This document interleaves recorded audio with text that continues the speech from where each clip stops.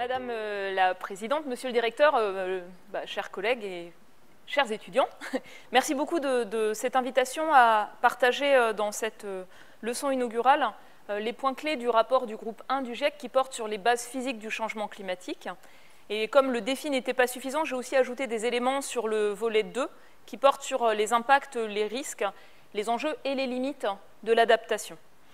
Donc c'est le résultat d'un travail collectif et euh, j'en profite d'ailleurs, notre rapport a été rendu en 2021 pour souligner que le prix Nobel de physique en 2021 a été attribué à deux réels pionniers euh, de la science du climat.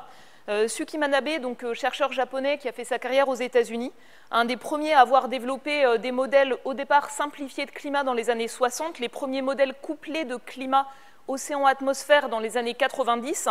Et ce qui est impressionnant, c'est de voir la réalité observée qui est tout à fait cohérente avec ces premières anticipations de l'évolution à venir faites il y a maintenant une quarantaine d'années.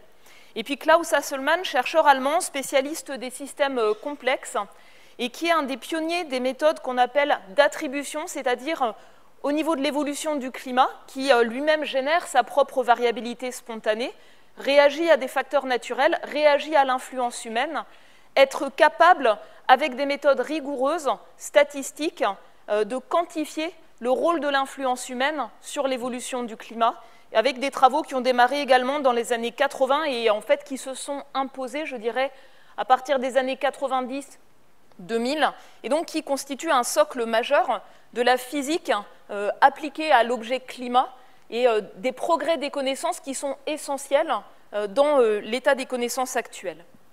Alors, on vous l'a dit, hein, donc, euh, euh, je suis depuis 2015 coprésidente avec mon collègue chinois Pan Maojai d'un des groupes de travail du GIEC. Et en fait, on a eu une charge de travail incroyable. 2015, euh, c'est en fait les objectifs de développement durable définis par les Nations Unies. C'est une, une, réflexion sur l'urbanisation, l'habitat porté par les Nations Unies. Euh, c'est également euh, euh, donc, la, préparation de l'accord de Paris sur le climat. C'est aussi toute une réflexion au niveau de l'ONU sur la gestion des risques de catastrophes, y compris les événements extrêmes liés au changement climatique. Et donc en 2015, on avait reçu pour le GIEC à peu près 31 propositions de rapports thématiques qu'on a regroupés, on a dû faire des choix difficiles. Et donc on a porté trois rapports spéciaux en 2018-2019 euh, un rapport sur un degré et demi de réchauffement planétaire qui montrait à quel point chaque fraction de réchauffement supplémentaire compte et à quel point en fait euh, euh, l'action pour le climat est intimement liée à une action pour la soutenabilité. Un rapport sur l'océan, la cryosphère, tout ce qui est enneigé, englacé dans un climat qui change. Et enfin un rapport sur le changement climatique et l'utilisation des terres qui avait mis en fait euh, à la une, Nathalie Noblet un des auteurs euh, principaux de ce rapport, qui avait mis à la une les enjeux croisés climat et sécurité alimentaire. Et puis enfin, en 2021-2022, trois rapports complets. Alors un rapport spécial, c'est léger, une centaine de scientifiques les rédigent, euh, c'est à, peu près 500-600 pages de texte. Euh, un rapport complet, c'est de l'ordre de plutôt 2500-3000 pages de texte. C'est 250 euh, euh, auteurs principaux, en gros, hein, dans le monde. Donc c'est beaucoup plus dense et à chaque fois, en fait, on en distille des points clés et c'est ce que je vais vous présenter. Et nous sommes actuellement, en fait, dans la phase pour préparer une synthèse qui est prévue pour le mois de mars, mars prochain, qui sera, en fait, le point d'orgue de ce cycle d'évaluation du GIEC. Et ensuite, ça passera avec de nouveaux coprésidents, membres du bureau, euh, donc élus par les représentants de tous les pays au septième cycle, pour lequel il est déjà acté que le prochain focus, rapport spécial, portera sur les villes et le changement climatique. Les villes étant en fait euh, aux avant-postes, hein, gérer euh, un climat qui se réchauffe, les enjeux d'adaptation, les leviers d'action à l'échelle des villes pour réduire les émissions de gaz à effet de serre dans de nombreux secteurs. Et les rapports du GIEC, en fait, ils permettent de susciter une production, une synthèse de connaissances par ce signal. Euh, ils permettent aussi euh, une maturation des connaissances par l'examen critique de là où nous en sommes. Et c'est ce, ce point-là que je vais d'abord aborder. Donc cette présentation, je l'ai structurée en six grands thèmes. Et je vous propose à la fin de chaque thème de vous donner la parole, si vous avez des questions, des réflexions à partager, avant de passer au thème suivant. Donc je vais démarrer par comment on prépare ces rapports du GIEC, Puis ensuite, mettre l'accent sur l'état actuel du climat, les futurs possibles, l'information climatique pour l'évaluation de risque et l'adaptation, donc pas pour regarder dans le rétroviseur, les crues passées, les événements passés, mais pour mobiliser les connaissances sur les évolutions à venir, de sorte à les intégrer à la prise de décision. Les conditions géophysiques, c'est-à-dire du point de vue du climat, euh, nécessaires pour parvenir à stabiliser le, réchauffement. Et enfin, euh, le lien entre le niveau de réchauffement planétaire, les risques et euh, les enjeux d'adaptation. Donc, comment sont préparés les rapports du GIEC? Donc, il y a toute une articulation. chaque décision est prise euh, de préparer un rapport par les représentants de tous les pays en session plénière. Je vais d'ailleurs euh, la semaine prochaine à une des dernières sessions plénières auxquelles je participerai. Ensuite, euh, il y a un secrétariat du GIEC basé à Genève, une dizaine de personnes, qui est chargé de toute l'organisation, on va dire, administrative, logistique. Le budget du GIEC dans son ensemble, c'est à peu près 4 à 8 millions de francs suisses. Ça couvre essentiellement les déplacements des participants des pays du Sud, pour participer aux réunions plénières et des auteurs des pays du Sud pour participer aux réunions des auteurs. Donc, on est organisé en plusieurs groupes de travail, la partie physique du climat, la partie impact, euh, adaptation, euh, la partie réduction des émissions de gaz à effet de serre, ce qu'on appelle l'atténuation. Il y a également un groupe de travail qui porte sur les inventaires d'émissions de gaz à effet de serre. Donc chaque groupe de travail est toujours piloté par deux coprésidents, un d'un pays du Sud, un d'un pays du Nord. On marche en tandem. Il y a un ensemble de vice-présidents avec une recherche d'équilibre dans les différentes régions du monde. Et on est appuyé par une unité euh, d'appui technique qui est en fait financée par les pays euh, qui soutiennent des coprésidents. Donc c'est le gouvernement français qui a financé l'équipe d'une dizaine de personnes qui m'a aidé, et même chose pour mon collègue chinois, et donc hébergé à l'université Paris-Saclay. Et ensuite, euh, euh, euh, cette, organisation, elle va appuyer le travail de scientifiques qui vont passer en revue l'état des connaissances. Et en fait, ce travail, il est colossal. Autant, quand on regarde dans les bases de publications scientifiques, techniques, socio-économiques, on avait quelques milliers de publications avec le mot-clé changement climatique au début des années 2000.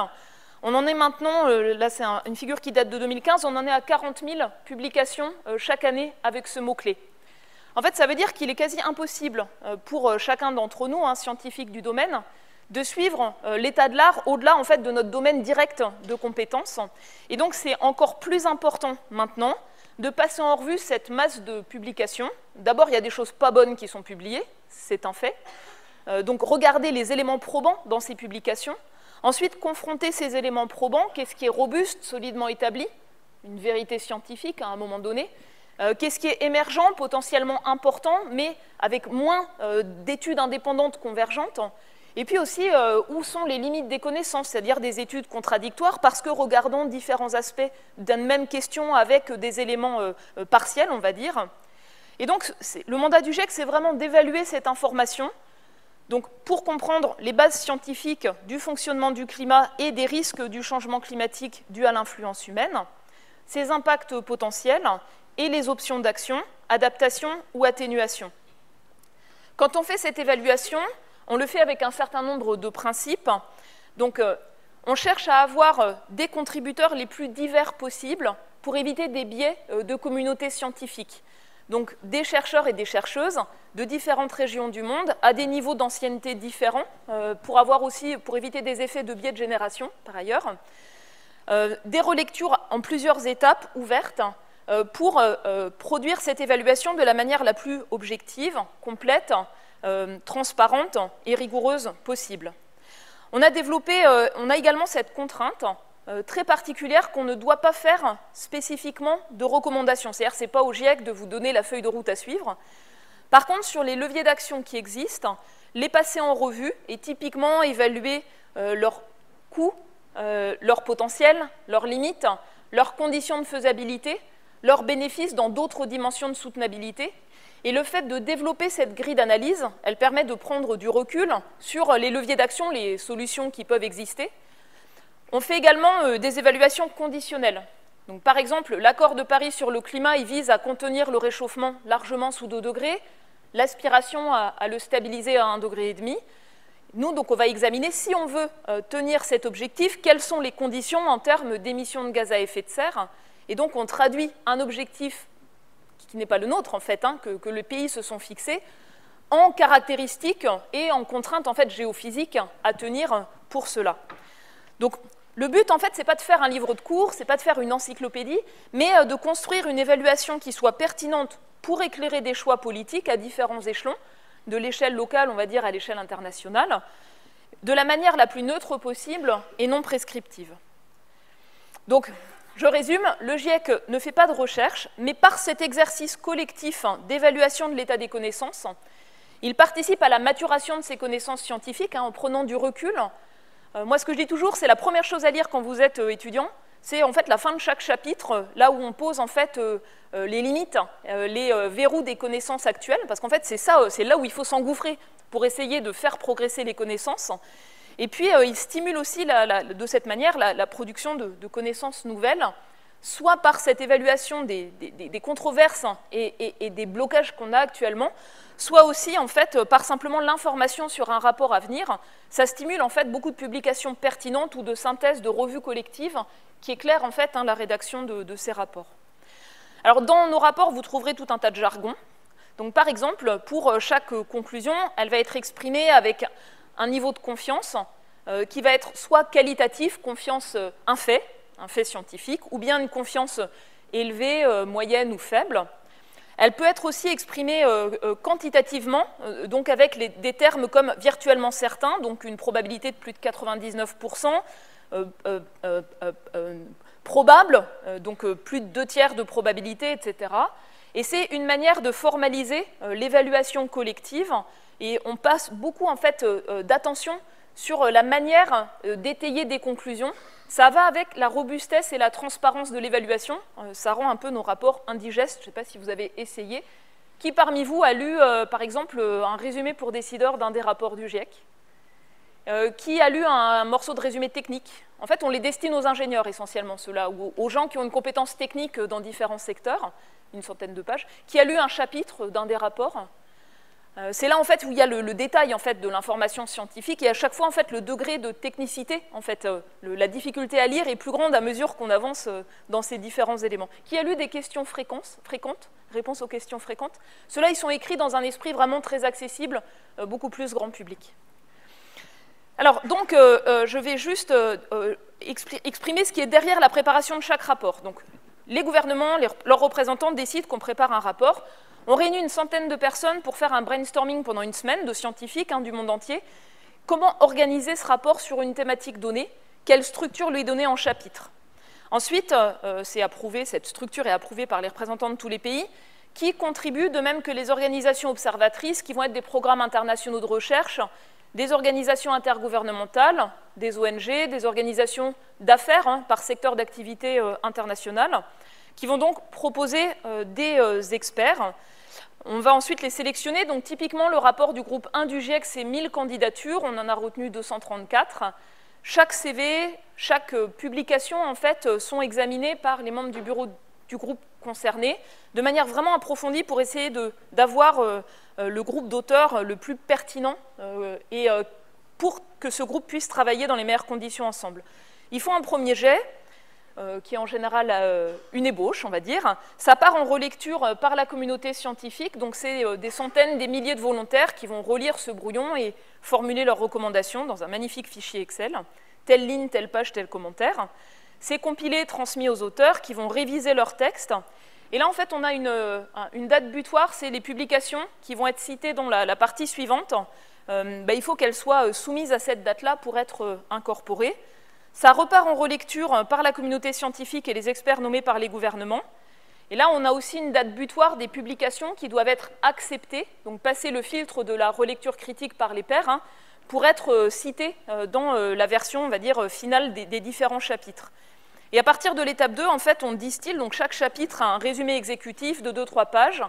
Et de là, on va construire ce résumé à l'intention des décideurs, qui est un document un peu particulier, au sens où euh, il est relu spécifiquement euh, par la communauté scientifique, mais aussi par euh, les experts nommés par les gouvernements.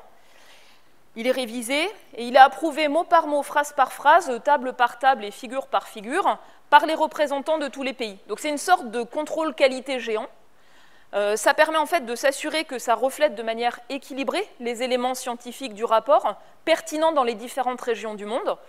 Ça permet aussi de s'assurer que c'est exprimé de manière claire. Alors ça, c'est quand tout fonctionne bien. Et puis quand le constat scientifique dérange, bah, en fait, on va gratter dans les publications sous-jacentes, et c'est seulement les choses très solides qui s'imposent, même si elles dérangent certains pays du monde. Et puis, il y a euh, notamment quand on touche aux questions d'atténuation, euh, parfois une volonté de diluer le message scientifique clair, euh, ce qui est regrettable, mais ce qui ne change rien en fait au fond. Donc, à la fin, ces rapports qui sont approuvés de cette manière-là, avec autant d'attention, il y a peu d'équivalents, ça constitue un socle scientifique commun qui est reconnu par l'ensemble des pays du monde, et ça sépare ce constat scientifique des négociations, par exemple, internationales, intergouvernementales sur le climat. Donc pour la partie groupe 1, sur laquelle on va mettre l'accent, euh, donc c'est 234 euh, chercheuses et chercheurs de 65 pays. Vous voyez que le pourcentage de femmes euh, reste assez faible, 28%. Ça n'a fait qu'augmenter depuis les années 90. Le pourcentage d'auteurs qu'on a choisi reflète à peu près le pourcentage dans les nominations.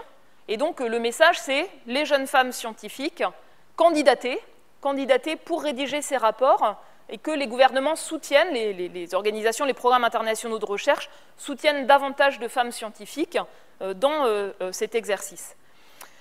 On a à peu près deux tiers hein, d'auteurs nouveaux à chaque fois. Donc une partie d'auteurs déjà expérimentés, ça gagne du temps en fait sur la, préparation des rapports. Et deux tiers pour le renouvellement des idées, euh, pour apporter aussi euh, bah, ces générations de chercheurs qui sont en fait en plein dans la production de connaissances et qui vont nourrir une, évaluation euh, qui évolue au fur et à mesure de cela.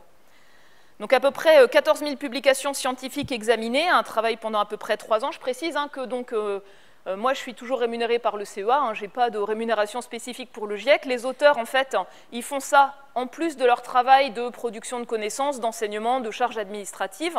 Et donc, le gros du travail du GIEC, en fait, il n'est pas rémunéré. Euh, c'est vraiment un point qui est important à comprendre. Euh, de même que les relecteurs non plus hein, ne sont pas rémunérés pour le faire. Et donc, c'est vraiment un, dévouement majeur de la communauté scientifique pour fournir ce socle robuste d'informations. Donc on avait reçu, nous, euh, sur ces étapes de relecture, à peu près 78 000 commentaires. Ma grande angoisse, c'est qu'on était à une phase clé, la deuxième relecture, au démarrage de la pandémie. Donc bon, on a bien vu, hein, mon collègue chinois a été confiné très vite, ma collègue responsable de mon équipe basée en Italie aussi. Euh, ça a touché tout le monde partout. Et ma grande inquiétude, c'est est-ce qu'on aura la même qualité de relecture euh, que s'il n'y avait pas la pandémie? Donc on a, nous, rajouté plusieurs mois, en fait, hein, aux, étapes anticipées. Et il y a eu une réponse euh, en fait euh, formidable de la communauté scientifique hein, qui, a, participé à ça malgré les difficultés euh, des uns et des autres. Et on a basculé toute la fin de la préparation du rapport à distance. Alors vous le savez, hein, vous avez eu des cours en ligne, vous savez que c'est possible. Ça prend juste beaucoup, beaucoup plus de temps. Et d'autant plus qu'on est sur 24 heures de fuseaux horaires différents dans les différentes régions du monde. C'est-à-dire qu'en fait, on doublait les réunions, on les faisait deux fois par jour pour que la contrainte soit à peu près gérable, même si elle était très difficile, notamment pour ceux dans les petites îles ou en Amérique du Sud, euh, parce qu'à chaque fois, ça tombait euh, sur des fuseaux horaires au milieu de la nuit, en fait, hein, euh, pour eux. Ça a été aussi compliqué dans certains pays où l'accès à Internet est moins robuste que dans d'autres.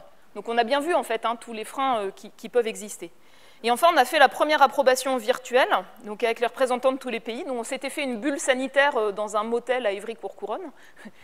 Et, on menait euh, cette session d'approbation avec 800 euh, participants à distance. En fait, ça s'est vraiment très bien passé. On avait beaucoup structuré à l'avance et ça, nous a pris à peu près 186 heures euh, pour, pour cette session d'approbation sur deux semaines qui a fini dans les temps. Donc, un rapport du groupe 1 du GEC, qu'est-ce qu'on regarde? On regarde les informations qu'on tire des climats passés.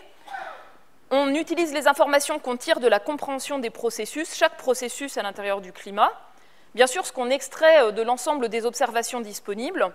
Et puis on mobilise aussi euh, des outils de modélisation du climat, euh, des calottes de glace, des glaciers, du cycle du carbone, des modèles de climat globaux et des modèles de climat régionaux, qui sont en fait des outils de plus en plus sophistiqués au, fur et à mesure du temps.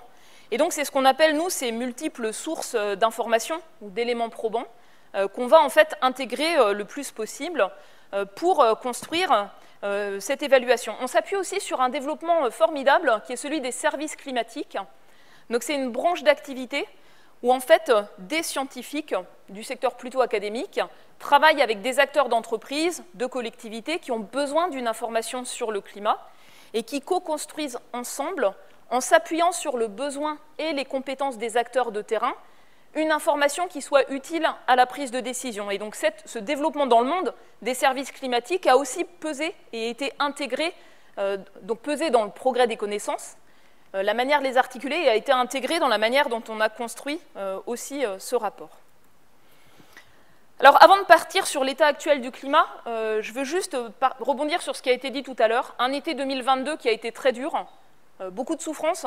Je vais mettre l'accent sur l'Europe de l'Ouest, mais ça a été le cas sur tous les continents de l'hémisphère nord, et un été emblématique euh, d'aléas qui s'accentuent euh, dans un climat qui se réchauffe et qui nous montre qu'on n'est pas prêt. Donc chaleur extrême sur Terre comme en mer. Vous avez peut-être noté une surmortalité d'à peu près 11 000 personnes cet été en France, euh, donc des personnes souvent fragiles, un quart d'entre elles chez elles. Ça n'est pas arrivé comme un afflux massif aux urgences une mortalité d'arbres, euh, des dépérissements d'espèces dans les milieux aquatiques, les forêts, ou euh, la, Méditerranée euh, touchée par une canicule spectaculaire. Des situations de sécheresse graves, persistantes encore maintenant, de pénurie d'eau, hein, certaines communes, difficultés d'approvisionnement, des effets chaleur extrême et sécheresse sur de nombreux rendements agricoles, et puis des inondations violentes avec des cumuls de pluie extrêmement importants. Euh, récemment en Italie, on a parlé de bombes d'eau, euh, des records de précipitations du côté de la Guadeloupe également. Ces grands types d'aléas euh, font partie des choses, bien sûr, qu'on examine dans un climat qui se réchauffe. Et ceux qui ont touché notamment l'Europe de l'Ouest ou la France cet été sont emblématiques de situations de risque qui vont s'amplifier à mesure du niveau de réchauffement planétaire. Donc, si on reprend le climat à l'échelle planétaire, une des conclusions de notre évaluation, c'est que l'influence humaine sur le climat, est sans équivoque, c'est un fait établi. Elle est sans équivoque sur l'évolution de la composition atmosphérique. Donc vous avez là trois des principaux gaz à effet de serre bien mélangés qui étaient naturellement présents. Donc le, le cycle du carbone a interagi avec les variations naturelles du climat et qu'on ajoute en quantité colossale depuis la révolution industrielle sur ce graphe, vous avez euh, depuis 800 000 ans les enregistrements issus des glaces polaires. Au milieu, le, très plat gris, le niveau pré-industriel. Et puis euh, cette rupture, hein, qui est le résultat d'émissions massives de gaz à effet de serre dans l'atmosphère. Et il est certain que c'est le résultat des activités humaines. Donc on est par exemple sur un niveau pour le dioxyde de carbone inédit depuis plus de 2 millions d'années.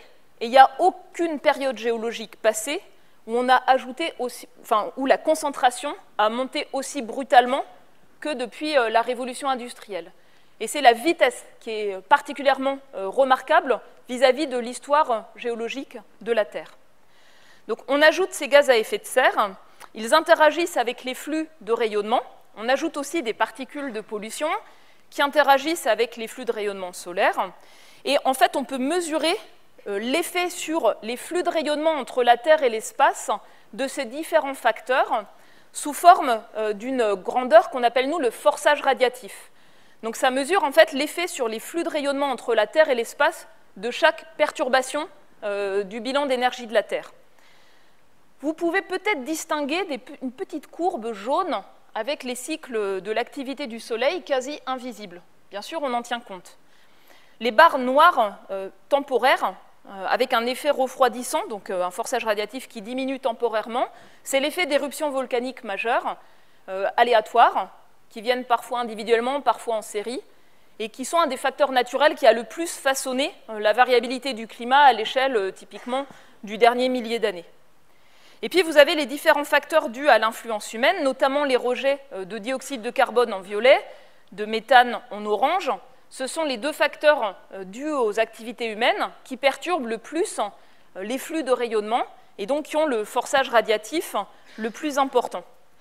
Et l'effet des gaz à effet de serre, qui est un effet net réchauffant, c'est certain, est en partie contrebalancé par euh, les particules de pollution et leur effet, on va dire, parasol, qui sont émises en même temps, qui ont un effet net refroidissant et qui masquent en fait en partie l'effet réchauffant dû aux gaz à effet de serre. La chose sur laquelle je veux mettre l'accent, c'est sur la dernière décennie. On a continué à injecter des gaz à effet de serre de manière croissante. Leur concentration a continué à monter, donc l'effet de serre supplémentaire s'est accru.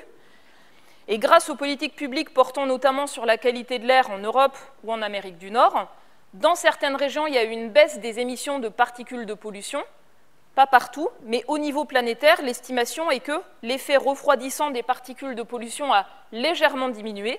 Donc là, les deux facteurs vont dans le même sens, le sens d'un réchauffement. Alors, la version simple, c'est celle-ci. Donc, euh, un climat à l'équilibre, on a le rayonnement solaire qui arrive, et puis une partie qui est réfléchie, et on a un, effet de serre stable, et donc c'est contrebalancé par une partie de rayonnement infrarouge qui part vers l'espace. Donc là, nous, on crée un déséquilibre en rajoutant euh, un, déséquilibre dans ces flux de rayonnement, et l'effet le, plus important, c'est moins d'énergie qui part vers l'espace par la hausse de l'effet de serre, et donc une accumulation d'énergie dans le système climatique. Où va cette énergie qui ne sort plus vers l'espace? Donc 1%, c'est le réchauffement des basses couches de l'air, 3%, c'est converti en fonte du manteau neigeux, euh, recul de la banquise arctique, euh, recul des glaciers, dégel des sols gelés, donc c'est transféré en fonte des glaces. Et puis 5%, euh, c'est le réchauffement des sols. Et le gros de la chaleur supplémentaire qui ne part plus vers l'espace rentre dans l'océan, qui en accumule à peu près 90% euh, chaque année. Pour donner un ordre de grandeur, en fait, la quantité de chaleur qui rentre dans l'océan, ça représente à peu près 15 à 20 fois euh, la totalité de l'énergie primaire utilisée par l'humanité. En fait, en rajoutant des gaz à effet de serre, même s'ils sont présents à l'état de trace dans l'atmosphère, l'effet sur le déséquilibre du bilan d'énergie de la Terre est 15 à 20 fois plus important que simplement euh, l'énergie euh, primaire euh, qu'on utilise.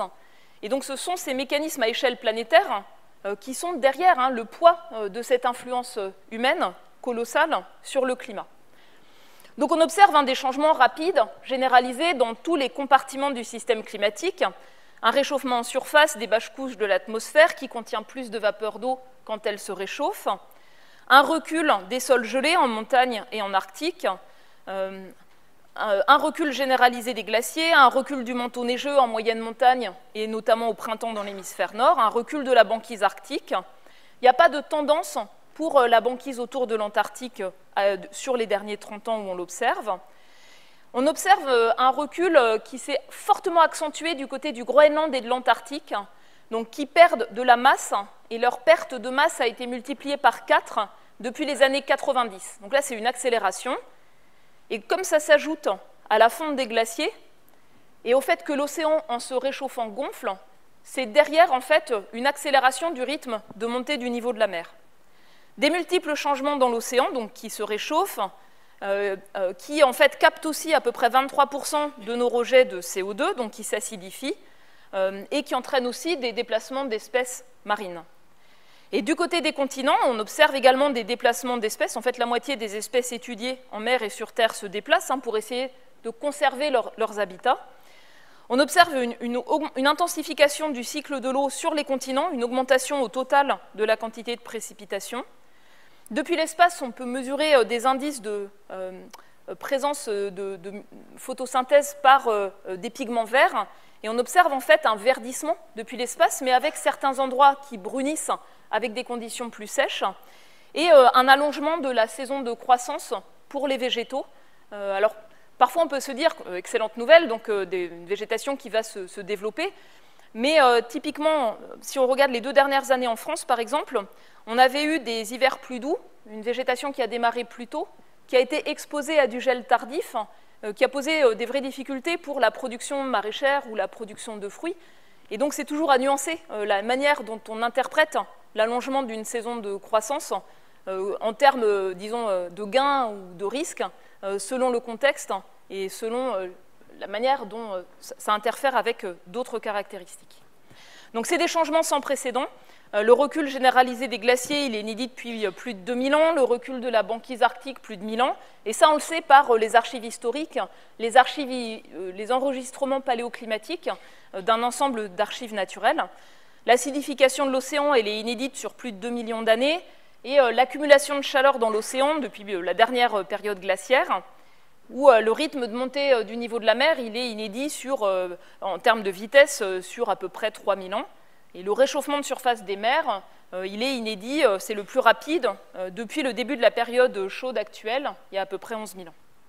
Alors si on prend un des indicateurs de l'état du climat, qui est le niveau de réchauffement à la surface de la Terre, donc au-dessus des continents et au-dessus de l'océan, donc, sur cet indicateur, vous voyez qu'on a un ensemble de reconstitutions qui sont combinées ici, qui tiennent compte hein, de, l'incertitude associée.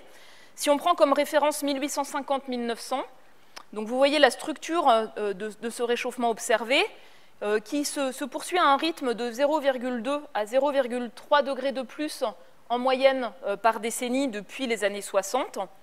Et on atteint sur euh, la période des derniers 10 ans 1,1 degré de plus euh, que la fin du 19e siècle.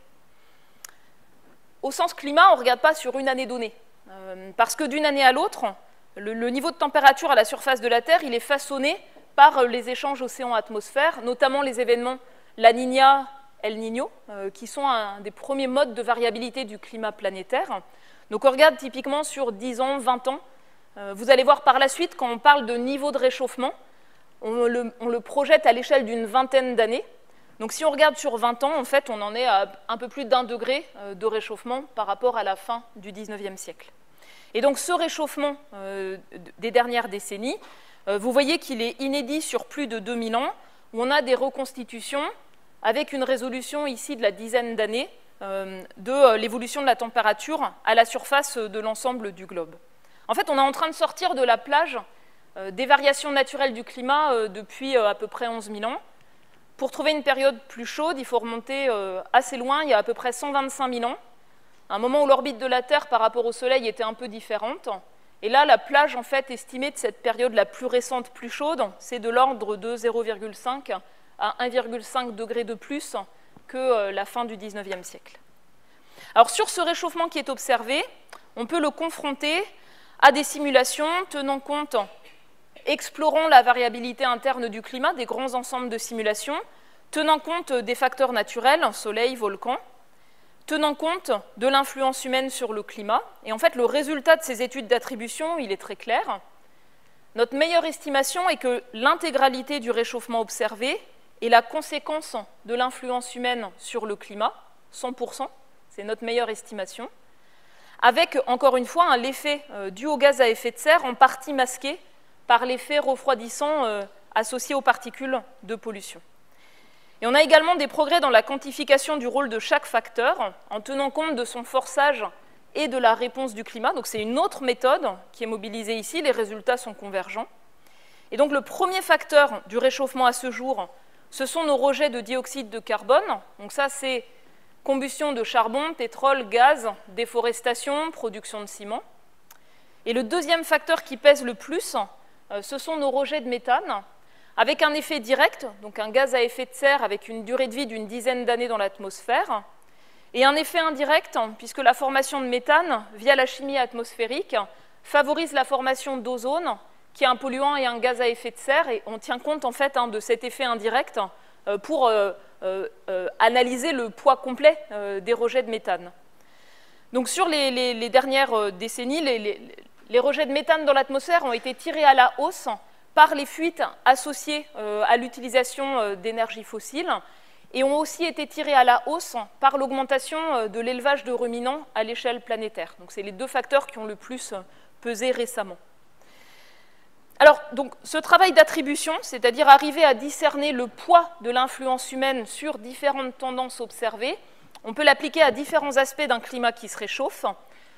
Donc, là vous avez des flèches rouges, c'est là où l'influence humaine sur le climat est le facteur principal de ce qui est observé. Là vous avez des flèches oranges, c'est là où c'est un contributeur, mais qui peut jouer parfois sur quelques décennies, à part égale, avec des mécanismes de variabilité spontanée du climat, typiquement tout ce qui touche au cycle de l'eau, vous voyez que le degré de confiance est toujours un peu plus nuancé que pour tout ce qui touche à la température et aux aspects euh, plus énergétiques. On peut aussi faire euh, ce type d'analyse à l'échelle régionale, et je l'illustre ici pour trois régions, du côté euh, du continent africain, du continent de l'Amérique centrale et du Sud, et pour le continent asiatique. Vous avez le réchauffement observé qui est en noir, le réchauffement simulé ne tenant compte que des facteurs naturels en vert, et le réchauffement simulé en orange prenant en compte les facteurs naturels et l'influence humaine sur le climat. L'exemple que je vous montre ici, on l'a pour toutes les régions et d'autres indicateurs, et c'est ce qui permet de conclure que le réchauffement observé à l'échelle de chaque continent, par exemple en Afrique, est la conséquence de l'influence humaine sur le climat. Donc ce n'est pas simplement à l'échelle planétaire, c'est aussi à l'échelle continentale ou euh, régionale. Si on regarde la structure du réchauffement sur les derniers 40 ans, donc 1981-2020, euh, la, tendance observée, euh, elle vous montre que le réchauffement est plus prononcé au-dessus des continents que la moyenne planétaire. Si on regarde euh, sur un siècle, on en est déjà à 1,7 degré, par exemple en France, pour 1,1 en moyenne planétaire. Et il est particulièrement prononcé autour de l'Arctique, hein, parfois deux, trois fois ou davantage le niveau de réchauffement moyen.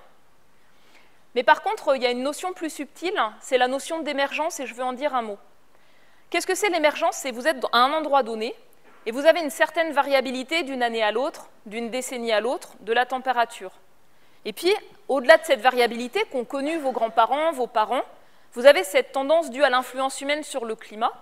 À partir de quel moment elle dévie de la variabilité euh, naturelle locale? Dans les régions froides, le réchauffement est plus prononcé, mais la température est plus variable d'une année à l'autre.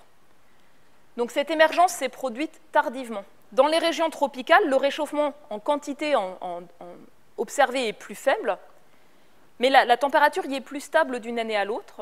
Et en fait, on a discerné cette émergence dès euh, la fin des années 70 dans des régions en Amérique du Sud, en Afrique de l'Est ou en Asie euh, tropicale. À partir des années 80, euh, dans l'ensemble des régions tropicales ou en Méditerranée, à partir des années 90, par exemple en Europe de l'Ouest, et puis plus tardivement dans les régions plus froides où il y a plus de variabilité d'une année à l'autre. Mais cette carte, en fait, qui montre que cette émergence s'est produite à des moments différents, elle illustre aussi en fait que partout, dans chaque région du monde, on vit avec des conditions climatiques, ici la température moyenne annuelle, qui ne sont plus les mêmes que celles des générations avant, avec un nouveau climat finalement. C'est ce que traduit cette notion euh, d'émergence. Et sur ce point, le, dernier point sur lequel je veux insister, c'est que l'influence humaine sur le climat, ce n'est pas simplement ces tendances dans tous les rouages de la machine climatique et dans toutes les régions, mais elle rend les événements extrêmes, notamment les extrêmes chauds, euh, les pluies diluviennes et les sécheresses, plus fréquents et plus sévères. Donc ici, c'est un hexagone, une région du monde. Donc, par exemple, MED, le tour de la Méditerranée, WCE, l'Europe de l'Ouest.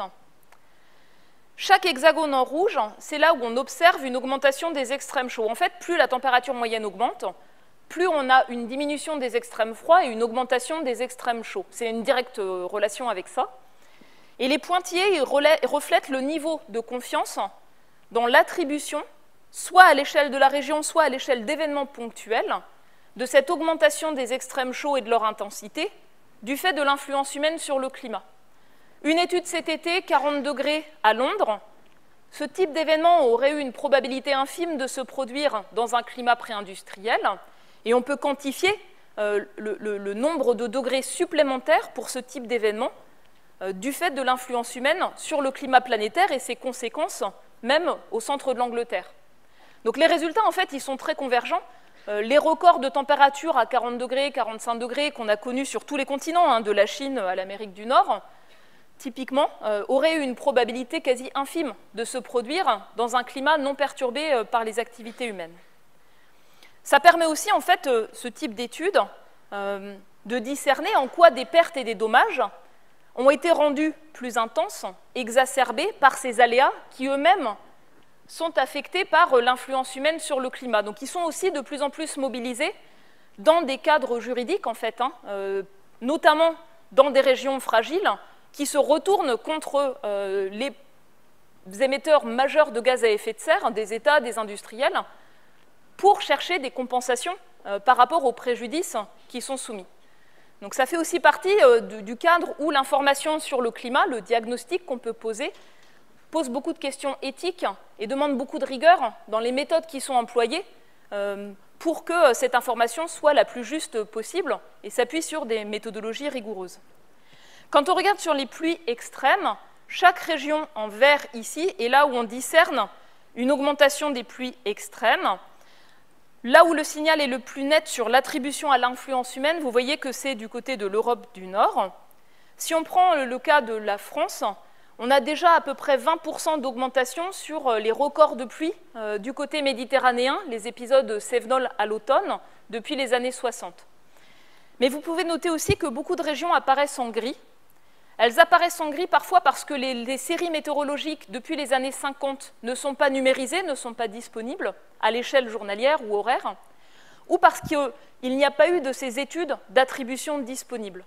Donc ça reflète aussi le déséquilibre de l'accès aux données et le déséquilibre des études d'attribution, parfois pour des régions particulièrement exposées, des populations particulièrement vulnérables, des inondations observées, mais euh, ces études formelles d'attribution n'ont pas nécessairement eu lieu. Alors ça a été fait et publié la semaine dernière pour le Pakistan sur les événements de pluie intense euh, de l'été dernier qui ont conduit à inonder à peu près un tiers euh, du Pakistan. Donc ce n'est pas dans notre rapport, ça a été produit après avec les mêmes méthodes.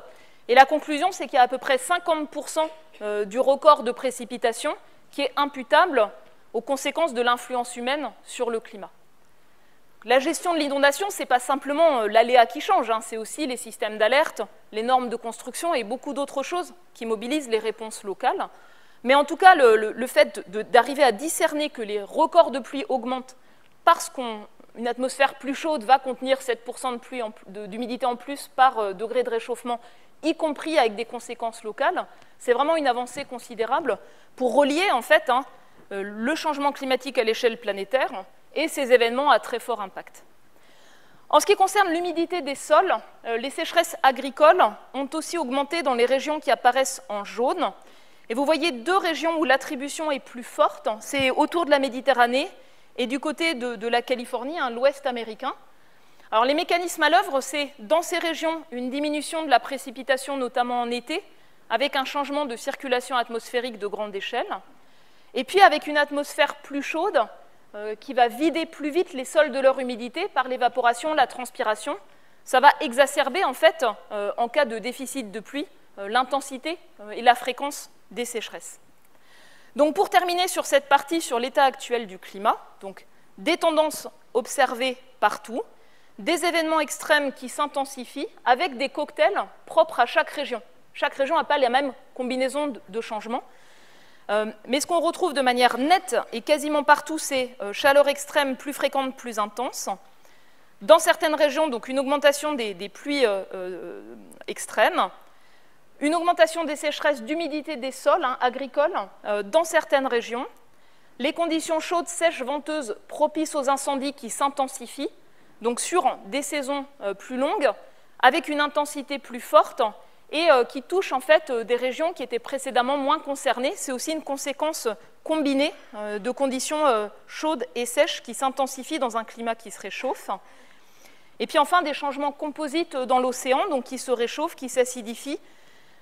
Puisqu'il est plus chaud, il se mélange moins bien, il y a moins d'oxygène qui est transporté en profondeur et puis également l'effet de, la montée du niveau de la mer, donc un ensemble de changements composites du côté de l'océan. Avez-vous des questions sur l'état actuel du climat?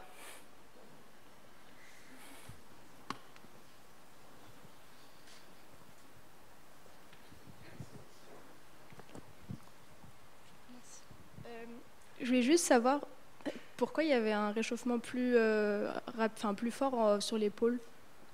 Alors, du côté de l'Arctique, hein, euh, donc, en fait, on a un ensemble de facteurs amplificateurs. Euh, donc, je vais décrire ceux qui sont plus simples. Euh, donc, quand la température augmente, le manteau neigeux se réduit au printemps. la banquise arctique, elle se réduit, alors toute l'année, mais surtout en fait à la fin de l'été. Donc, ces surfaces qui ont un effet de réflexion important du rayonnement solaire sont remplacées par des surfaces plus sombres qui absorbent mieux le rayonnement solaire. Et c'est un mécanisme amplificateur. Euh, c'est des régions aussi qui sont froides et donc sèches euh, pour l'atmosphère. Donc quand l'atmosphère se réchauffe, elle peut contenir plus de vapeur d'eau. Euh, et donc l'effet de serre de la vapeur d'eau augmente et amplifie la perturbation due à l'influence humaine.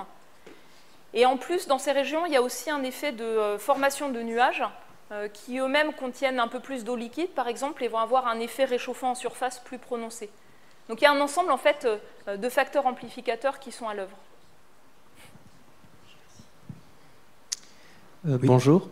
Je voulais vous demander euh, les effets euh, amplificateurs justement de la vapeur d'eau. Pourquoi est-ce qu'on les détaille très peu dans les rapports du GIEC Parfois même dans certains graphiques, ils sont cachés. quand on, par exemple, le, le, schéma que vous avez montré avant, où on, détaille l'implication de tous les gaz à effet de serre, pourquoi est-ce qu'on ne détaille pas plus l'effet de la vapeur d'eau? Donc la vapeur d'eau, en fait, c'est un ingrédient majeur de la machine climatique. Et la quantité de vapeur d'eau dans l'atmosphère, elle va directement être, entre guillemets, l'esclave du profil de température de l'atmosphère. Donc quand on modifie les flux de rayonnement de la Terre, il y a un ajustement assez rapide du profil de température et de la quantité de vapeur d'eau. Et par ailleurs, euh, la vapeur d'eau, ce n'est pas un gaz à effet de serre bien mélangé. Euh, c'est très dépendant des conditions, euh, notamment de température locale et puis aussi de, transport atmosphérique. Donc on peut pas, ça a peu de sens de montrer concentration moyenne de vapeur d'eau de ce point de vue-là, même si en fait la quantité d'humidité dans les basses couches de l'atmosphère notamment a augmenté et on le mesure euh, donc, euh, notamment depuis quelques décennies par satellite par exemple. Je ne sais pas si ça répond complètement à votre question, mais en tout cas c'est vraiment un des rouages clés du fonctionnement du climat et des rétroactions climatiques, et j'en dirai un mot par la suite. J'avais une question sur le forçage radiatif. Moi, je m'attendais à donc 1000 watts par mètre carré qui arrivent de l'espace. Mon voisin me dit qu'il y a à peu près 250, 250 euh, watts par mètre carré qui arrivent euh, sur la Terre en moyenne. Et je voyais 2 watts. Euh, et, alors, la réflexion que je me suis faite, je me suis dit, mais c'est tout petit, 2 watts par rapport à 250. Alors, comment, comment on remet tout ensemble? Parce que je, voilà, je trouve ça petit, alors qu'on sait que les effets sont dramatiques. Oui, oui, donc le flux solaire incident, c'est autour de 340 hein, watts par mètre carré, quelque chose comme ça, au sommet de l'atmosphère. Et après, en fait, donc, euh, si on regarde euh, la perturbation due à l'influence humaine sur le climat, euh, donc, effectivement, c'est à peu près 3 watts par mètre carré sur l'effet de serre supplémentaire, hein, un petit peu contrebalancé par les autres facteurs. Donc en pourcentage, ça semble faible, mais néanmoins, pour donner un ordre de grandeur, entre un climat, par exemple, glaciaire et un climat interglaciaire, euh, le forçage, là, naturel, c'est euh, la trajectoire de la Terre autour du Soleil et ses caractéristiques qui changent. C'est juste la répartition de l'ensoleillement. En fait, il n'y a quasiment pas euh, de forçage radiatif net. Et les facteurs amplificateurs à ce moment-là, c'est les variations, donc les rétroactions climatiques, notamment l'albédo des glaces et l'effet de serre naturel. Et chacun de ces facteurs, c'est à peu près 2 watts par mètre carré. Vous voyez ce que je veux dire? Voilà.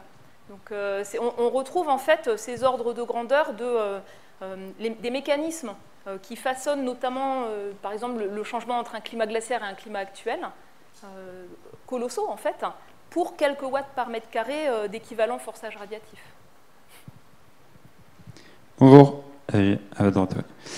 sur la courbe de température que vous avez montrée, juste avant l'explosion exponentielle des dernières décennies, entre 1500 et 1850, je crois qu'il y a une grosse baisse euh, en température.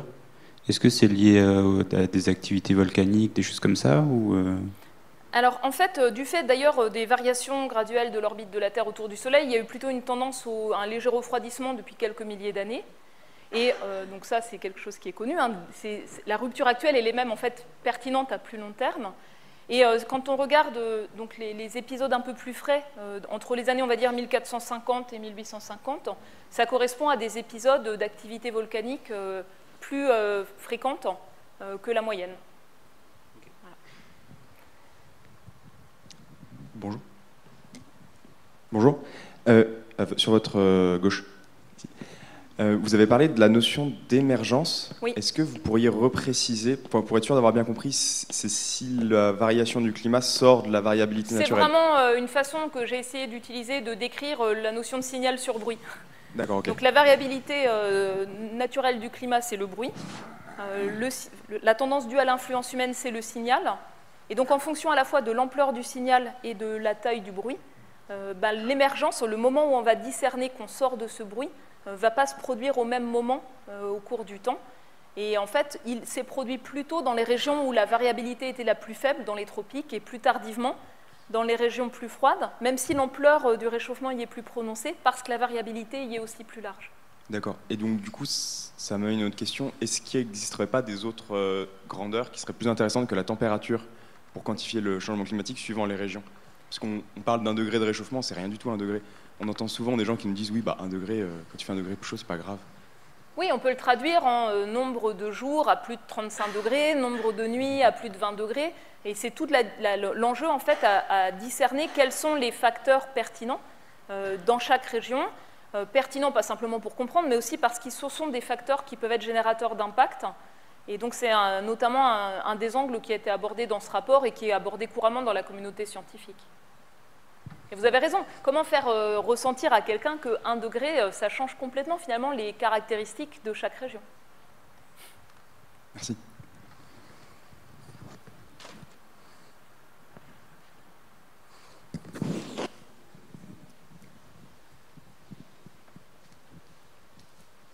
On va prendre les deux dernières questions peut-être pour cette partie. Je crois que monsieur, vous aviez une question?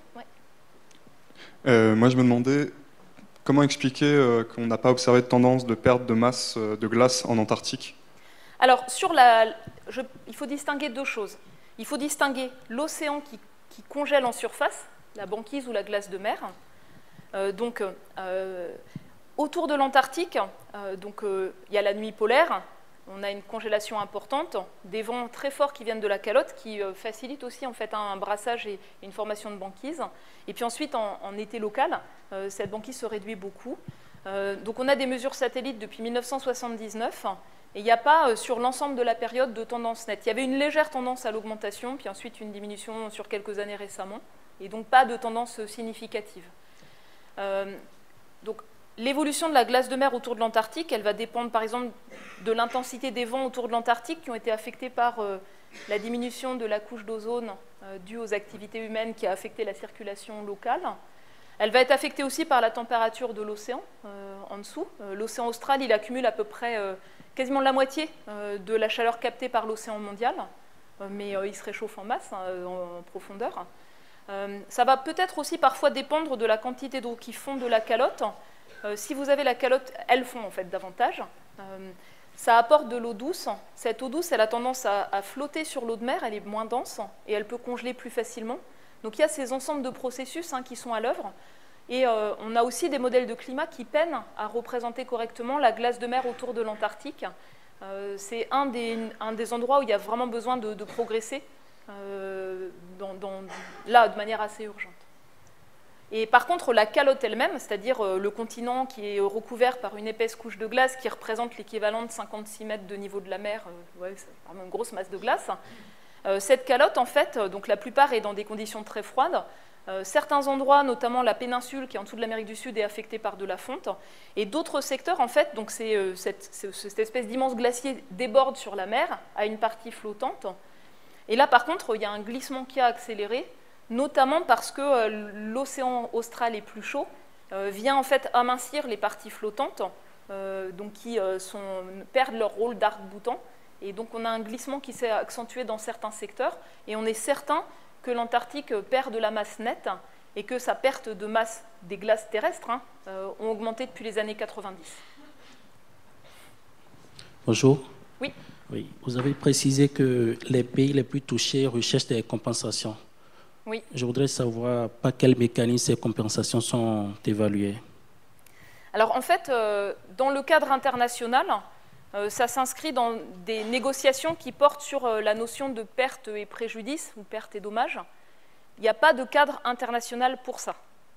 C'est-à-dire qu'en gros, il y a des discussions sur des points techniques, des mécanismes d'appui sur des points techniques, mais il n'y a aucun cadre international sur cela. Par contre, euh, ce qu'on voit, c'est une montée en puissance de recours juridiques. Donc, dans certains cas, ça peut être une communauté qui est touchée et qui va se retourner contre, mettons, une entreprise du secteur pétrolier qui émet des quantités colossales de gaz à effet de serre. Ou dans d'autres pays, euh, euh, je pense à l'Europe par exemple, hein, des personnes qui sont affectées dans leur propre domaine d'activité qui se retournent contre les États pour inaction climatique, non-respect parfois d'engagement.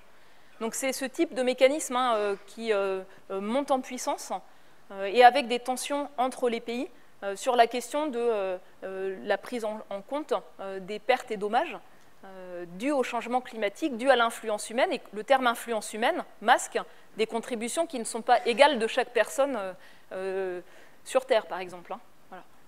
Ni aujourd'hui, ni au cours du temps. Alors, je vous propose de passer à la suite, donc les futurs possibles. Et le message clé de notre évaluation, c'est que, à moins d'une réduction immédiate, rapide et à grande échelle des émissions de gaz à effet de serre dans le monde, limiter le réchauffement à un niveau proche d'un degré et demi et largement sous 2 degrés euh, sera rapidement hors de portée. Alors, cette conclusion, elle est étayée, par un, ensemble d'études qui vont examiner euh, une large palette de scénarios de, développement futur, d'émissions à venir de gaz à effet de serre, de polluants, d'utilisation des terres, des résultats euh, de la modélisation du climat en réponse à ces scénarios et euh, de progrès pour contraindre les résultats des modèles de climat euh, et réduire l'incertitude sur la réponse du climat. Donc j'illustre le type de scénarios qui sont explorés. Donc on en est à peu près à 40 milliards de tonnes de CO2 qu'on met aujourd'hui dans l'atmosphère chaque année. Euh, les scénarios qui sont utilisés pour la modélisation du climat global retenus dans l'évaluation du GIEC, c'est seulement cinq scénarios, il en existe des centaines en fait hein, dans le monde, euh, mais on en a retenu cinq qui sont représentatifs de toute la, dispersion, on va dire, qu'on trouve dans la littérature euh, socio-économique. Donc on a des trajectoires d'émissions de gaz à effet de serre élevées ou très élevées. Donc ça veut dire quoi? Ça veut dire un développement qui est ancré sur une utilisation croissante d'énergie fossile et notamment beaucoup, beaucoup de charbon. Euh, nos collègues du groupe 3 du GIEC euh, considèrent que ces trajectoires, notamment d'émissions très élevées, sont maintenant moins plausibles du fait de politiques publiques qui sont mises en place euh, et également du fait de ruptures technologiques qui rendent le fait de produire de l'électricité, notamment issue de sources renouvelables, compétitives et donc qui montent plus rapidement. Je, précise ce point-là. On a un scénario intermédiaire avec des émissions de gaz à effet de serre qui stagnent à un niveau proche de l'actuel pendant quelques décennies et qui diminuent lentement en fin de siècle, donc à l'échelle mondiale. Donc on va dire que ce scénario ressemble au résultat des politiques publiques qui étaient en place autour de 2020 sans davantage d'ambition à agir plus vite. Et puis ensuite, on a des trajectoires qui font l'hypothèse hein, euh, de transformations profondes et rapides euh, qui conduisent à des baisses fortes ou très fortes des émissions de dioxyde de carbone dans cette décennie, dans les décennies suivantes, et qui arrivent à des émissions mondiales de dioxyde de carbone autour de 2050 euh, ou 2070 qui deviennent zéro net, c'est-à-dire que les activités humaines ne mettent pas plus dans l'atmosphère que ce que d'autres activités humaines arrivent à enlever et stocker. Et vous voyez même des émissions qui peuvent être nettes négatives en fin de siècle dans ces cas-là. C'est-à-dire qu'on soit capable de retirer du CO2 de l'atmosphère et le stocker euh, de manière euh, durable euh, à la fin de ce siècle de manière nette. Alors je mets l'accent sur le dioxyde de carbone parce que c'est celui qui pèse le plus et qu'il y a une relation directe, on va le voir, entre le cumul de nos émissions de CO2 et le niveau de réchauffement à venir. Mais bien sûr, les autres gaz à effet de serre sont pris en compte, et dans les scénarios notamment de baisse ou de très forte baisse, il y a aussi une baisse des émissions de méthane, il y a aussi une baisse des émissions d'oxyde nitreux, hein, deux autres des gaz à effet de serre bien mélangés euh, qui ont un effet euh, important.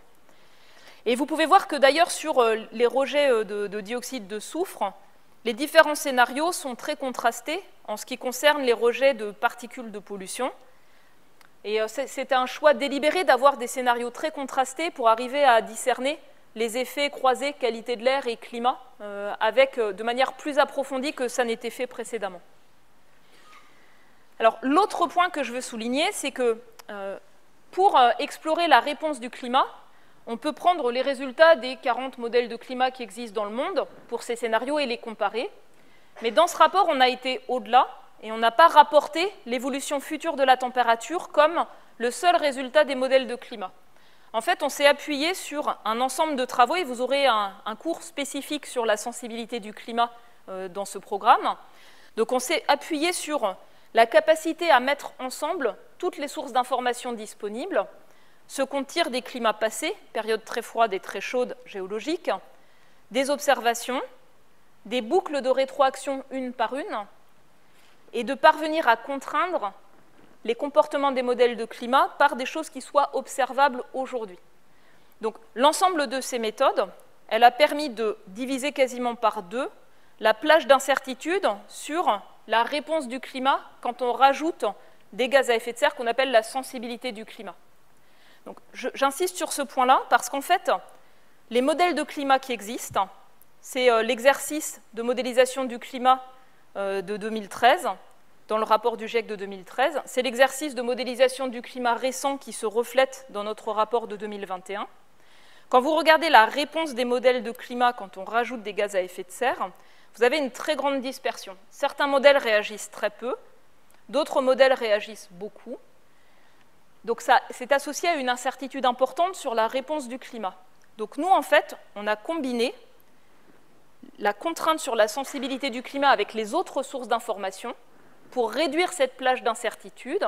Et ça revient en fait à donner moins de poids aux modèles qui réagissent plus que notre meilleure estimation, moins de poids aux modèles qui réagissent moins que notre meilleure observation. Ça revient à cet exercice-là.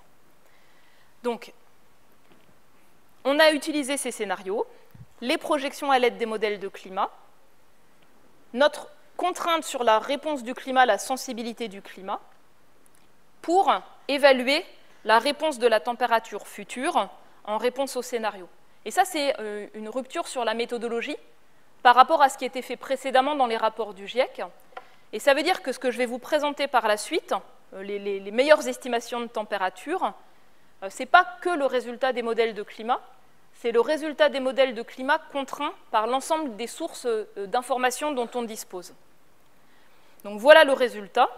Ce sont les changements de température par rapport à 1850-1900, donc on en est à autour d'un degré de réchauffement aujourd'hui. Donc dans tous les, dans tous les scénarios, euh, on résume en disant émissions de CO2, mais c'est l'ensemble des caractéristiques des scénarios hein, qui sont derrière. À court terme, on s'attend à ce qu'en moyenne sur 20 ans, le niveau de réchauffement atteigne 1,5 degré, dans tous les cas. Pourquoi? Parce que tant qu'on émet du CO2, euh, la température va augmenter. Donc tant que les émissions ne sont pas à zéro, le cumul augmente et le climat euh, dérive. Et par ailleurs, dans les scénarios de forte baisse d'émissions de gaz à effet de serre, on va perdre aussi les particules de pollution qui sont émises en même temps euh, quand on brûle des énergies fossiles. On perd un peu leur effet masque. Ça contribue au réchauffement.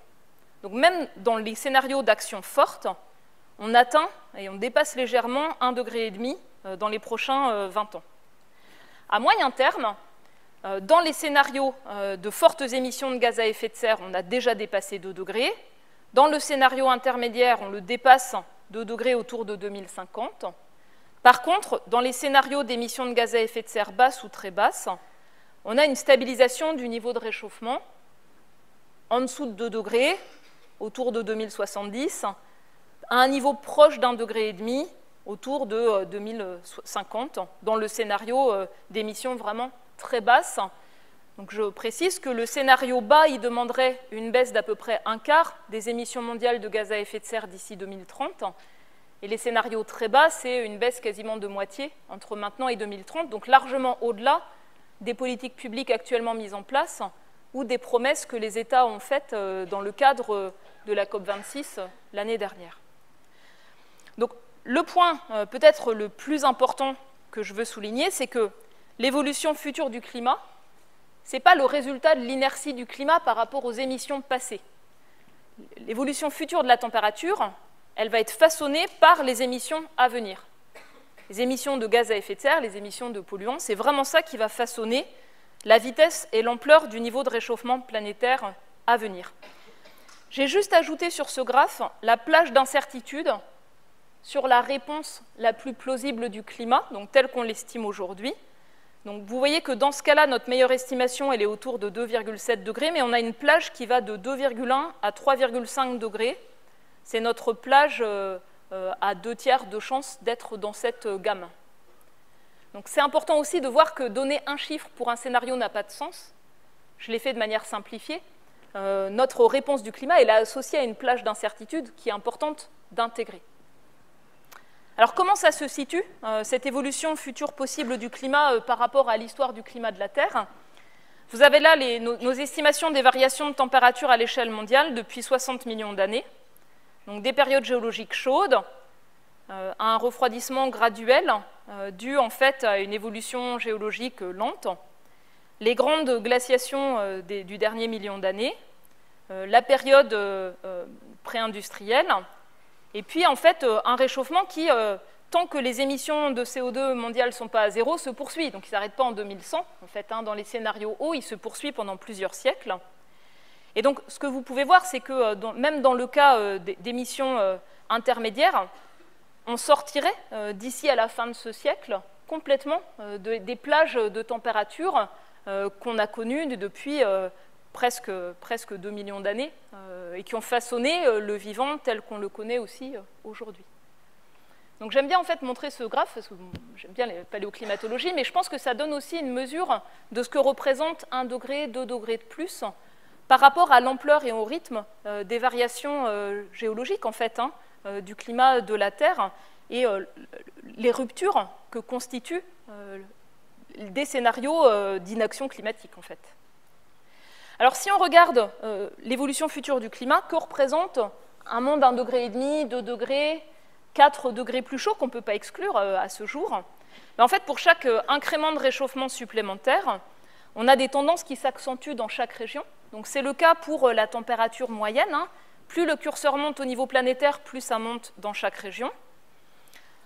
On a une intensification du cycle de l'eau euh, avec des modifications de la répartition des pluies. Donc plus le curseur monte au niveau planétaire, plus on a des conditions plus humides, notamment dans les régions froides, dans certaines régions de mousson. Et par contre, plus on a des conditions sèches, donc la moyenne annuelle des pluies qui baisse, dans des régions comme le pourtour de la Méditerranée, le sud de l'Amérique du Sud ou le sud de, de l'Afrique. Et si on regarde l'humidité moyenne des sols, ce n'est pas les sécheresses là qu'on regarde, hein, c'est la quantité moyenne d'humidité dans les sols. Ça reflète à la fois euh, la précipitation et euh, l'effet de conditions plus chaudes sur l'évaporation. Vous voyez que plus le curseur monte, eh plus on a certaines régions qui s'humidifient en vert, mais d'autres régions qui s'aridifient. Et c'est notamment le cas de l'Europe de l'Ouest, du tour de la Méditerranée, de l'Afrique du Sud, euh, de l'Amérique centrale, des grandes plaines américaines, ou bien de la région de l'Amazonie et euh, certains endroits également du côté de l'Australie. Donc cette baisse de l'humidité des sols, elle est extrêmement importante, puisque c'est celle-ci qui euh, sous-tend en fait hein, la production euh, des cultures agricoles ou bien les forêts. Et donc dans certaines régions, une conséquence directe de chaque incrément de réchauffement supplémentaire, c'est une aridification qui s'accentue. Et puis enfin, pour chaque incrément de réchauffement supplémentaire, on augmente la fréquence et l'intensité des extrêmes chauds des précipitations intenses et dans les régions qui s'aridifient, des sécheresses. Donc, si on prend par exemple les vagues de chaleur qui se produisaient une fois tous les 10 ans en climat euh, pré-industriel, dans un monde d'un degré et demi plus chaud, au lieu de se produire une fois par 10 ans, c'est 4 fois par 10 ans. Et dans un monde de degrés plus chaud, c'est 6 euh, fois par 10 ans. Donc ça, ça vous permet de voir euh, comment la fréquence des extrêmes chauds évolue. Et sur euh, les records de température, donc ces événements très chauds, vous voyez que leur intensité, elle monte plus vite dans chaque région que le niveau de réchauffement planétaire. C'est également amplifié par l'urbanisation, les effets d'îlots de chaleur dans les villes.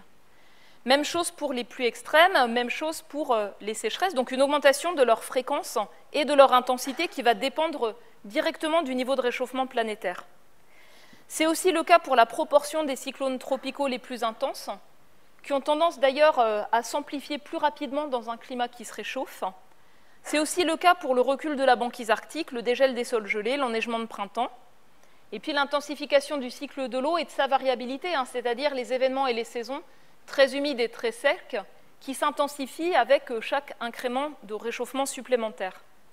Donc moi, le point sur lequel je veux insister, c'est se préparer se préparer à des événements qui ont une intensité plus grande que dans le passé, par exemple 50 degrés en France, c'est un enjeu majeur. Se préparer à des vagues de chaleur à 50 degrés pour les transfos, euh, pour euh, la continuité de l'accès à l'électricité, pour les infrastructures stratégiques, santé, transport, euh, pour les matériaux des routes, etc., c'est un enjeu majeur.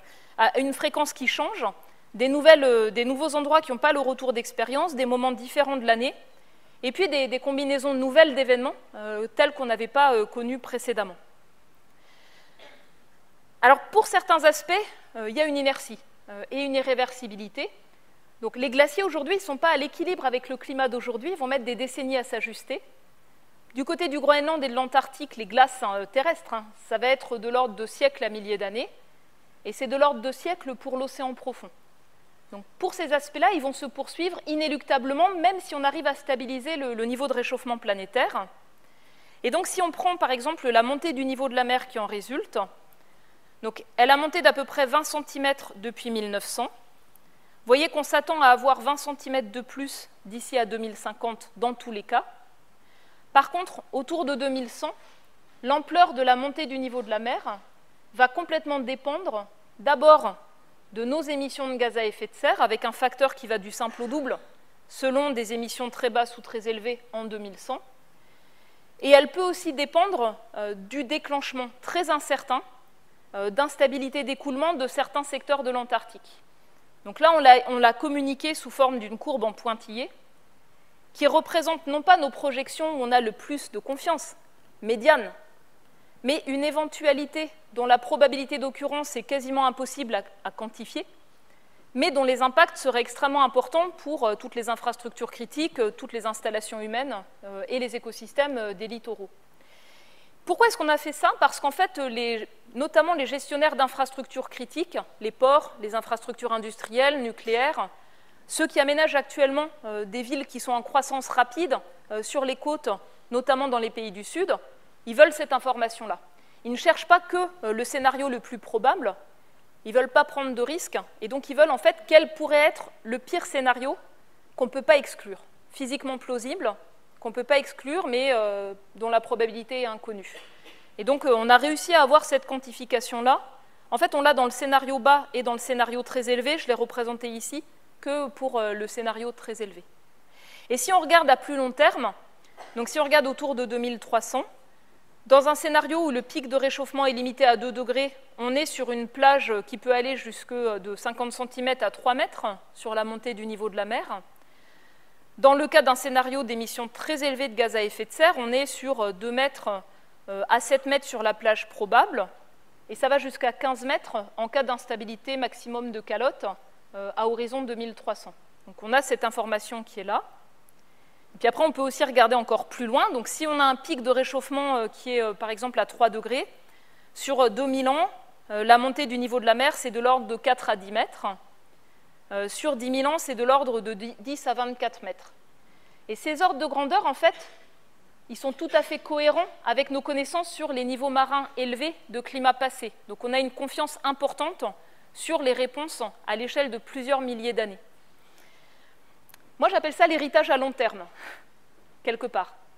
Ce n'est pas euh, le degré urgent immédiat. Mais quand vous êtes, par exemple, sur un grand delta, le delta du Nil, le delta du Mekong, quand vous êtes euh, une petite île avec des zones de basse terre, l'évolution à l'échelle de plusieurs milliers d'années du niveau de la mer, en fait, c'est l'habitabilité de ces endroits complète qui est en cause. Donc c'est une question en fait de fond euh, que mettent sur le devant de la scène tous les États en fait qui ont des grands deltas, qui ont euh, euh, des zones de basse terre et qui n'ont pas de réserve foncière, hein, notamment la situation des, petites îles en développement, euh, qui sont particulièrement exposées à ces conséquences.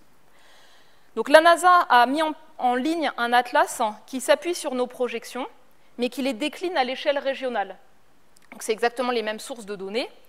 Et en fait, quand on regarde tous les endroits qui sont équipés de sites qui mesurent la hauteur de la mer, lors des marées, lors des tempêtes, on appelle ça des marégraphes.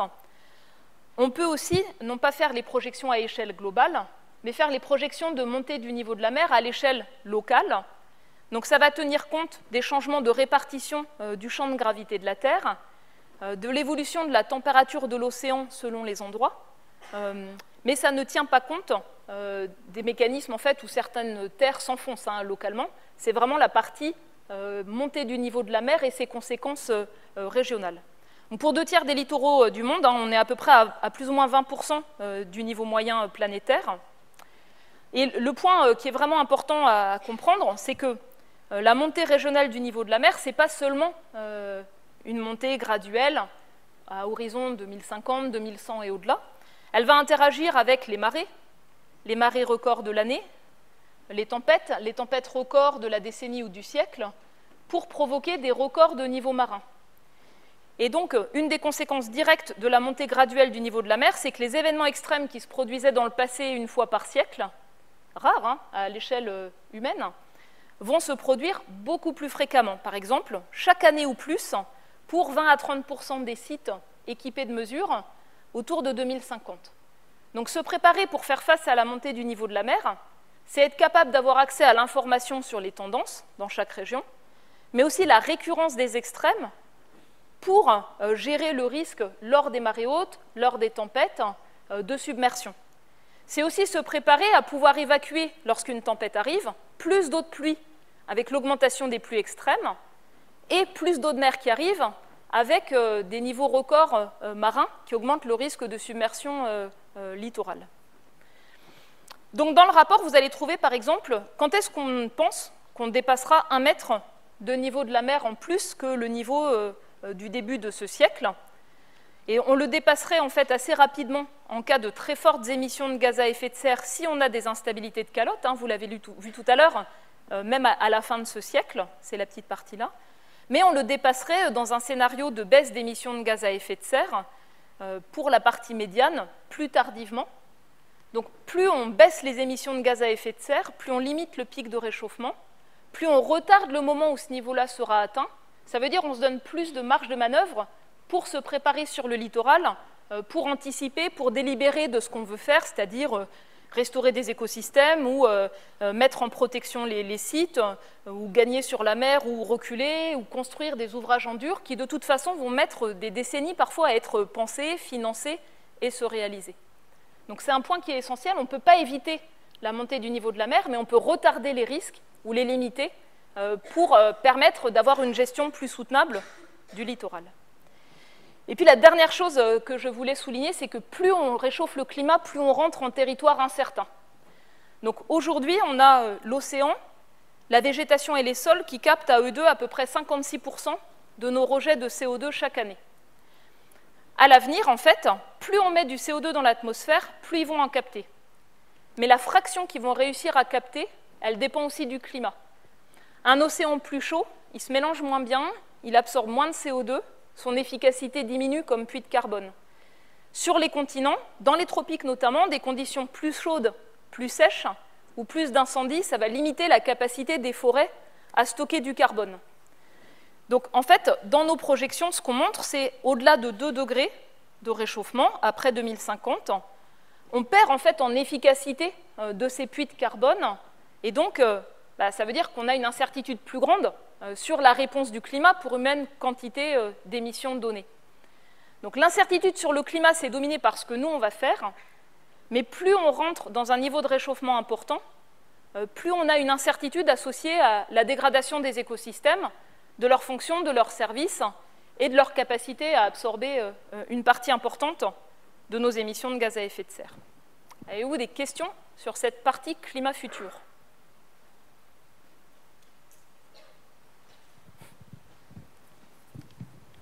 Merci Valérie pour ces messages très clairs. Euh, j'ai deux questions en fait. Euh, on voit sur ces événements de chaleur qu'un des gros impacts, c'est des, feux gigantesques éventuellement pas contrôlé, et donc j'imagine que ça a un effet de rétroaction positive.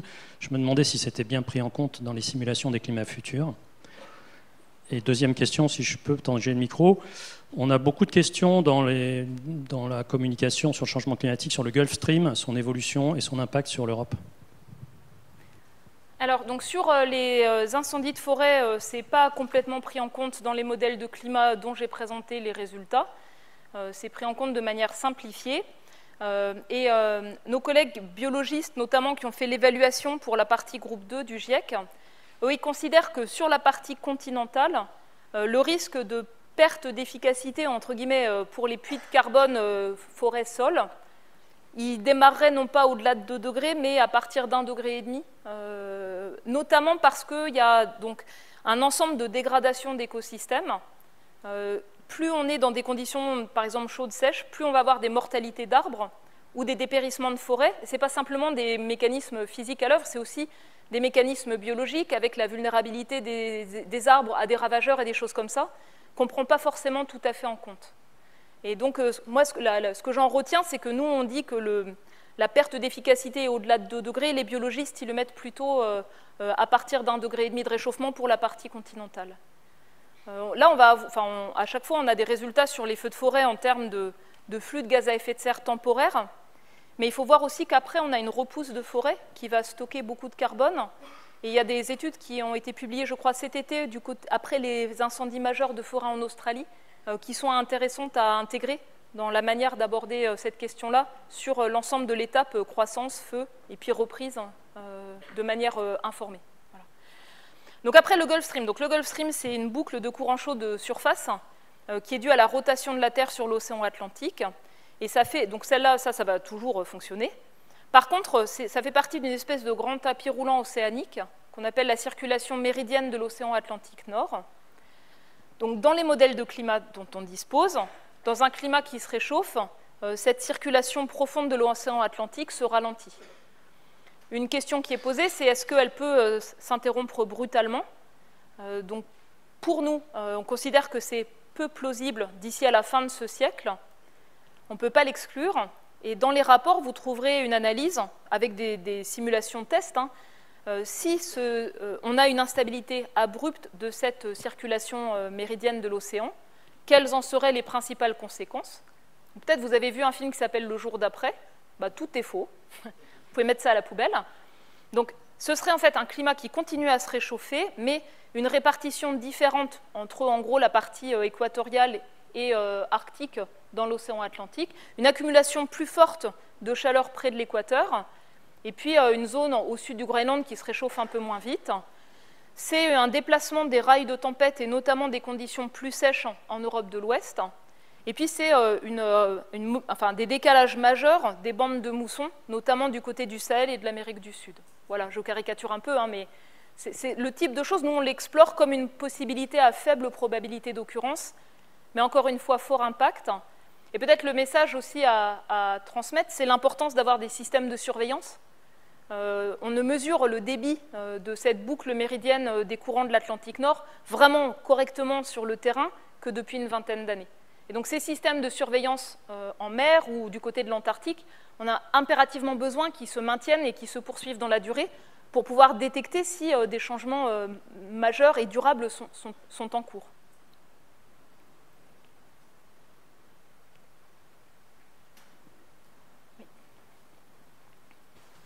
Donc si la notion de point de bascule vous intéresse, dans nos chapitres 4 et 5, vous avez des tables qui résument l'état des connaissances de manière très claire. Bonjour. Oui. Euh, est-ce qu'on connaît... Je vois pas qui parle en fait. C'est moi. Oui, pardon. Euh, est-ce qu'on connaît suffisamment l'impact du permafrost sur le réchauffement en cours et à venir? Donc sur les sols gelés de l'Arctique, c'est ceux qui pèsent le plus. Euh, dans les projections, on perd à peu près un quart du volume des sols gelés sur 3 mètres par degré de réchauffement supplémentaire. Donc le dégel, en fait, va être énorme. Euh, il y a des conséquences locales euh, sur les infrastructures qui sont construites, sur l'érosion, etc. Donc une question qui se pose pour le climat, c'est euh, quid de la matière organique qui est dans ces sols gelés qui dégèlent? Donc nous, on tient compte des rejets de CO2. c'est quelque chose qu'on a... Il y a eu des progrès considérables pour arriver à le quantifier. On en tient compte dans les budgets carbone résiduels et tout le reste. Par contre, une incertitude plus grande porte sur d'éventuels rejets, par exemple, de méthane. Et encore une fois, euh, il y a des enjeux de recherche, euh, de suivi, de surveillance à déployer. Je sais que certaines personnes voient des documentaires qui montrent, par exemple, qu'on met le feu à quelque chose qui sort d'un lac pour illustrer des fuites de méthane. On a parfois des communiqués de presse à tel endroit, on a des rejets importants de méthane. Mais aujourd'hui, dans le monde, euh, la hausse de la concentration en méthane, elle est tirée par des, facteurs qui se passent à des latitudes plus basses, euh, notamment avec donc, les activités humaines, et aussi avec, euh, dans certains cas, des, zones humides plus larges qui conduisent à former plus de méthane, y compris dans les régions tropicales, d'une année à l'autre. J'ai une question concernant les scénarios. Est-ce qu'ils sont sujets à des modèles euh, avec une certaine complexité? Et par qui ils sont faits? Si c'est des sociologues, des experts en politique, géopolitique, je ne sais pas trop. Alors donc euh, là, les scénarios que j'ai présentés, c'est une sous-partie euh, de, quelques scénarios qui ont été choisis pour être illustratifs, on va dire, et qui fédèrent des efforts dans le cadre d'un programme de recherche international hein, sur les scénarios. Euh, qui se réunit régulièrement, qui mobilise des chercheurs de disciplines très variées. Donc en fait, c'est des narratifs qui vont être quantifiés, qui vont permettre d'avoir euh, des narratifs, on va dire, sur le type de développement socio-économique, euh, et, des quantifications sur les émissions de gaz à effet de serre associées, mais aussi euh, certaines expositions, certaines vulnérabilités, et donc être plus cohérent sur la manière dont on aborde, par exemple, un climat qui change et l'ensemble des dimensions d'analyse de risque. Donc, il, s'appuie sur notamment des calculs à l'aide de modèles qu'on appelle d'évaluation économique intégrée, euh, et qui permettent de traduire en fait ces hypothèses sur les choix de développement socio-économique en informations, on va dire, euh, quantitatives. Donc, ce, n'est pas la réalité, c'est une manière d'explorer euh, différents types de narratifs de futur possibles.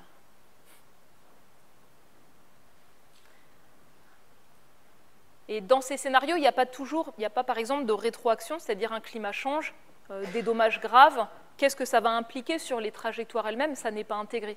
voyez? Donc c'est là où tout n'est pas entièrement toujours euh, cohérent. Euh, bah, par exemple, avec des limites dures sur des ressources, par exemple.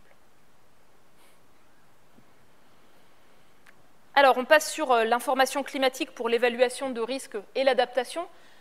C'est juste en fait pour vous expliquer ce que vous trouverez dans le rapport si vous avez besoin de cette information-là. Donc l'idée, c'est que, on l'a vu, hein, le changement climatique, il affecte déjà toutes les régions, de multiples manières, donc des tendances graduelles, des événements euh, euh, qui deviennent plus fréquents, plus intenses, d'autres moins fréquents, moins intenses, hein, comme les extrêmes froids. Et, donc, comment euh, vous mettre à disposition cette information climatique régionale? Donc, vous allez trouver dans notre rapport un atlas interactif où, pour ces grandes régions, celles qui sont représentées ici hein, sous forme de formes géométriques à, l'échelle de, on va dire, sous-continent. Vous pourrez naviguer dans l'information climatique, donc les euh, caractéristiques que je décrivais en fonction du niveau de réchauffement planétaire, en fonction euh, du scénario. Vous avez aussi des fiches de synthèse régionale de deux pages pour chacune de ces régions, ce qui est observé et les grands traits de ce qui est attendu, avec au moins un degré de confiance moyen. Alors, le point que j'ai peu souligné tout à l'heure, mais sur lequel je veux insister, c'est le fait que euh, l'influence humaine sur le climat euh, à venir, elle va se superposer à une variabilité naturelle spontanée du climat. Donc si on prend par exemple le contenu de chaleur de l'océan, un aspect clé de la montée du niveau de la mer, on l'illustre ici avec différentes simulations qui essayent de balayer euh, cette variabilité naturelle. Ça a peu d'effet sur la quantité de chaleur dans l'océan. Si on prend l'évolution de la température à la surface de la Terre, vous voyez qu'en fait, si on prend euh, deux simulations contrastées, euh, qui balayent euh, l'influence humaine sur le climat, deux réalisations possibles, on peut très bien avoir, à un moment donné, la variabilité naturelle, par exemple plus d'événements El Niño, qui accentue l'effet de l'influence humaine sur le climat, qui joue dans le même sens, ou pendant une dizaine d'années, la variabilité naturelle qui va masquer la tendance de plus long terme due à l'influence humaine sur le climat. Et donc, ce qui est important d'anticiper, c'est euh, euh, les différentes trajectoires possibles, tenant compte à la fois de ces tendances dues à l'influence humaine et euh, de cette variabilité spontanée. Si on prend l'exemple, par exemple, de la température d'été en Angleterre, vous voyez que dans un climat qui se réchauffe, elle a tendance à augmenter, mais à l'échelle d'une dizaine d'années, on peut avoir une tendance d'augmentation très forte quand on a euh, la circulation euh, atmosphérique qui joue dans le même sens en apportant plutôt des masses d'air chaudes, ou on peut avoir même une décennie où on aura une, un, mesuré un refroidissement local dans un climat qui se réchauffe. Et ça, ce n'est pas toujours intuitif. Euh, ne vous attendez pas à ce que chaque année soit localement plus chaude que la précédente d'une manière simple. Donc, mobiliser des connaissances sur l'évolution climatique à venir, ça demande de tenir compte dans chaque région des modes de variabilité de cette variabilité spontanée et euh, des aspects dus à l'influence humaine sur le climat pour savoir à 10 ans, 20 ans, 30 ans euh, l'ensemble des possibles à l'échelle régionale. Donc dans le rapport, vous allez trouver 33 facteurs climatiques générateurs d'impact liés à la chaleur, liés au cycle de l'eau, à tout ce qui est cryosphère, les caractéristiques des vents, notamment pour les tempêtes, les aspects spécifiques pour le littoral, euh, le rayonnement qui arrive en surface solaire, hein, qui peut être important également en termes d'exposition euh, euh, pour la peau, et puis des aspects liés à l'océan ouvert. Et en fait, vous allez en trouver une synthèse continent par continent. Je veux juste insister sur quelques points. Donc, si on prend par exemple l'augmentation des extrêmes chauds, dans toutes les régions du monde, on s'attend d'ici à 2050, si on va vers 2 degrés de réchauffement, à avoir le même signal. D'accord? Toutes les régions, elles sont concernées de la même manière. Si on prend par exemple en compte euh, l'augmentation euh, euh, des sécheresses hydrologiques, par exemple, puisqu'on en a eu une récemment, vous voyez que le signal n'est pas du tout net pour la plupart des régions du monde. On a seulement une augmentation avec une degré de confiance moyen pour quelques-unes des régions de ce type d'événement. Et donc cette information, elle est importante à mobiliser si vous êtes amené à interagir avec des enjeux liés à des sécheresses de type hydrologique. Le message le plus important, c'est qu'autour de 2050, on s'attend à ce que pour la moitié des régions du monde, il y ait au moins 15 facteurs euh, qui changent simultanément. Et pour l'immense majorité des régions du monde, euh, il y a au moins 10 facteurs qui changent simultanément. Donc, se préparer à un climat qui change, faire un stress test climat pour quelque chose qui a une durée de vie d'une trentaine d'années, puisqu'on regarde entre maintenant et 2050, ce n'est pas simplement regarder des extrêmes chauds ou des tendances de température ou euh, un aspect du cycle de l'eau. Euh, ce qui est vraiment important, c'est d'arriver à mobiliser l'ensemble des facteurs dont on sait qu'ils sont générateurs d'impact pour pouvoir faire des stress tests composites qui ont vraiment du sens. Donc l'atlas, vous avez le, lien ici. Euh, donc vous pouvez naviguer dans l'information, vous pouvez regarder les synthèses régionales, ce qui est observé, ce qui est projeté euh, si on atteint autour de 2 degrés d'ici à 2050. Euh, vous pouvez faire vous-même vos cartes avec des hexagones en choisissant la variable qui vous intéresse. Donc si on prend par exemple l'Europe de l'Ouest ici, ce qui est représenté, c'est les changements de, de pluie extrême, euh, les changements de précipitations moyennes, euh, d'inondations fluviales, euh, d'inondations par ruissellement, c'est les sécheresses agricoles et les conditions propices aux incendies.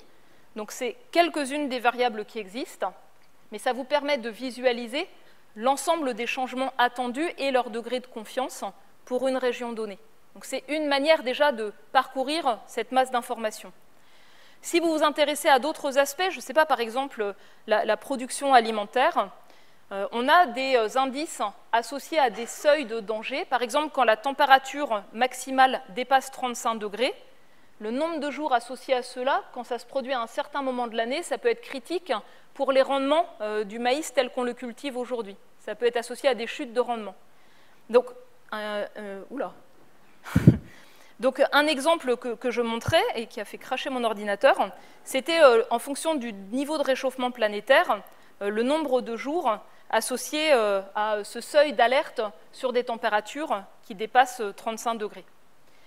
Alors j'ai fini sur cette partie par rapport à ce que je peux projeter actuellement. Si quelqu'un peut essayer de m'aider à restaurer la projection de mon écran, ça m'aiderait beaucoup, parce que là tout est bloqué.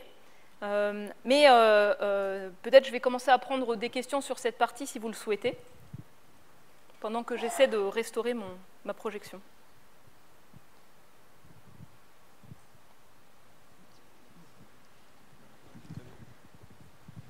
En fait, dans la, dans la, carte de régionalisation, on voit que la France est incluse dans une vaste zone qui s'appelle Western Europe, je crois, qui va jusqu'à la Pologne. Et donc j'étais un peu surpris de cette similitude oui, alors ces régions, on les a regroupées parce que, en fait, euh, quand on a euh, euh, des modes de variabilité, cette région, elle va être affectée de manière relativement similaire par ces modes de variabilité, alors que l'extrême nord et l'extrême sud de l'Europe vont être affectés de manière opposée.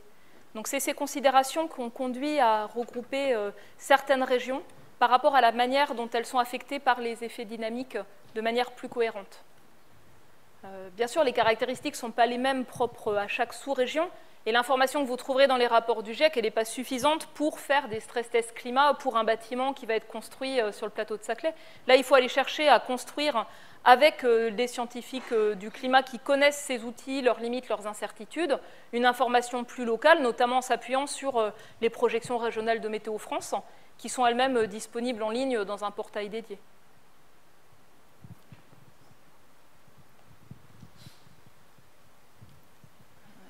Là, je crains que tout est bloqué. Ouais. Donc je vais essayer de le redémarrer, je pense. Avez-vous d'autres questions sur le fait de mobiliser ces informations en appui, à la prise de décision? Moi, je veux juste vous dire qu'il y a un besoin colossal de compétences sur ce point. Euh, c'est ce qui ressort dans de très nombreux secteurs d'activité, la capacité à, utiliser des informations sur l'évolution future du climat pour éclairer des dimensionnements d'ouvrages, euh, d'infrastructures, euh, de bâtiments, etc. Il y a un vrai manque de, connaissances actuellement, de compétences qui sont très recherchées dans de très nombreux secteurs d'activité.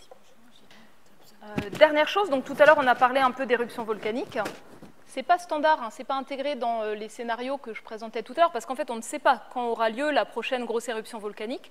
On intègre les cycles d'activité du Soleil, on intègre l'effet euh, moyen euh, des éruptions volcaniques sur la composition atmosphérique. et donc, dans des analyses de, de risque, c'est important aussi de savoir qu'on peut avoir des éruptions volcaniques majeures. C'est probable qu'il y en aura une dans les prochains 30 ans. On ne peut pas exclure qu'il y en ait par exemple deux majeures. Ça s'est produit à l'échelle des siècles précédents. C'est moins plausible. Et donc, euh, vous trouverez dans notre rapport, par exemple, un encadré euh, qui montre des simulations idéalisées.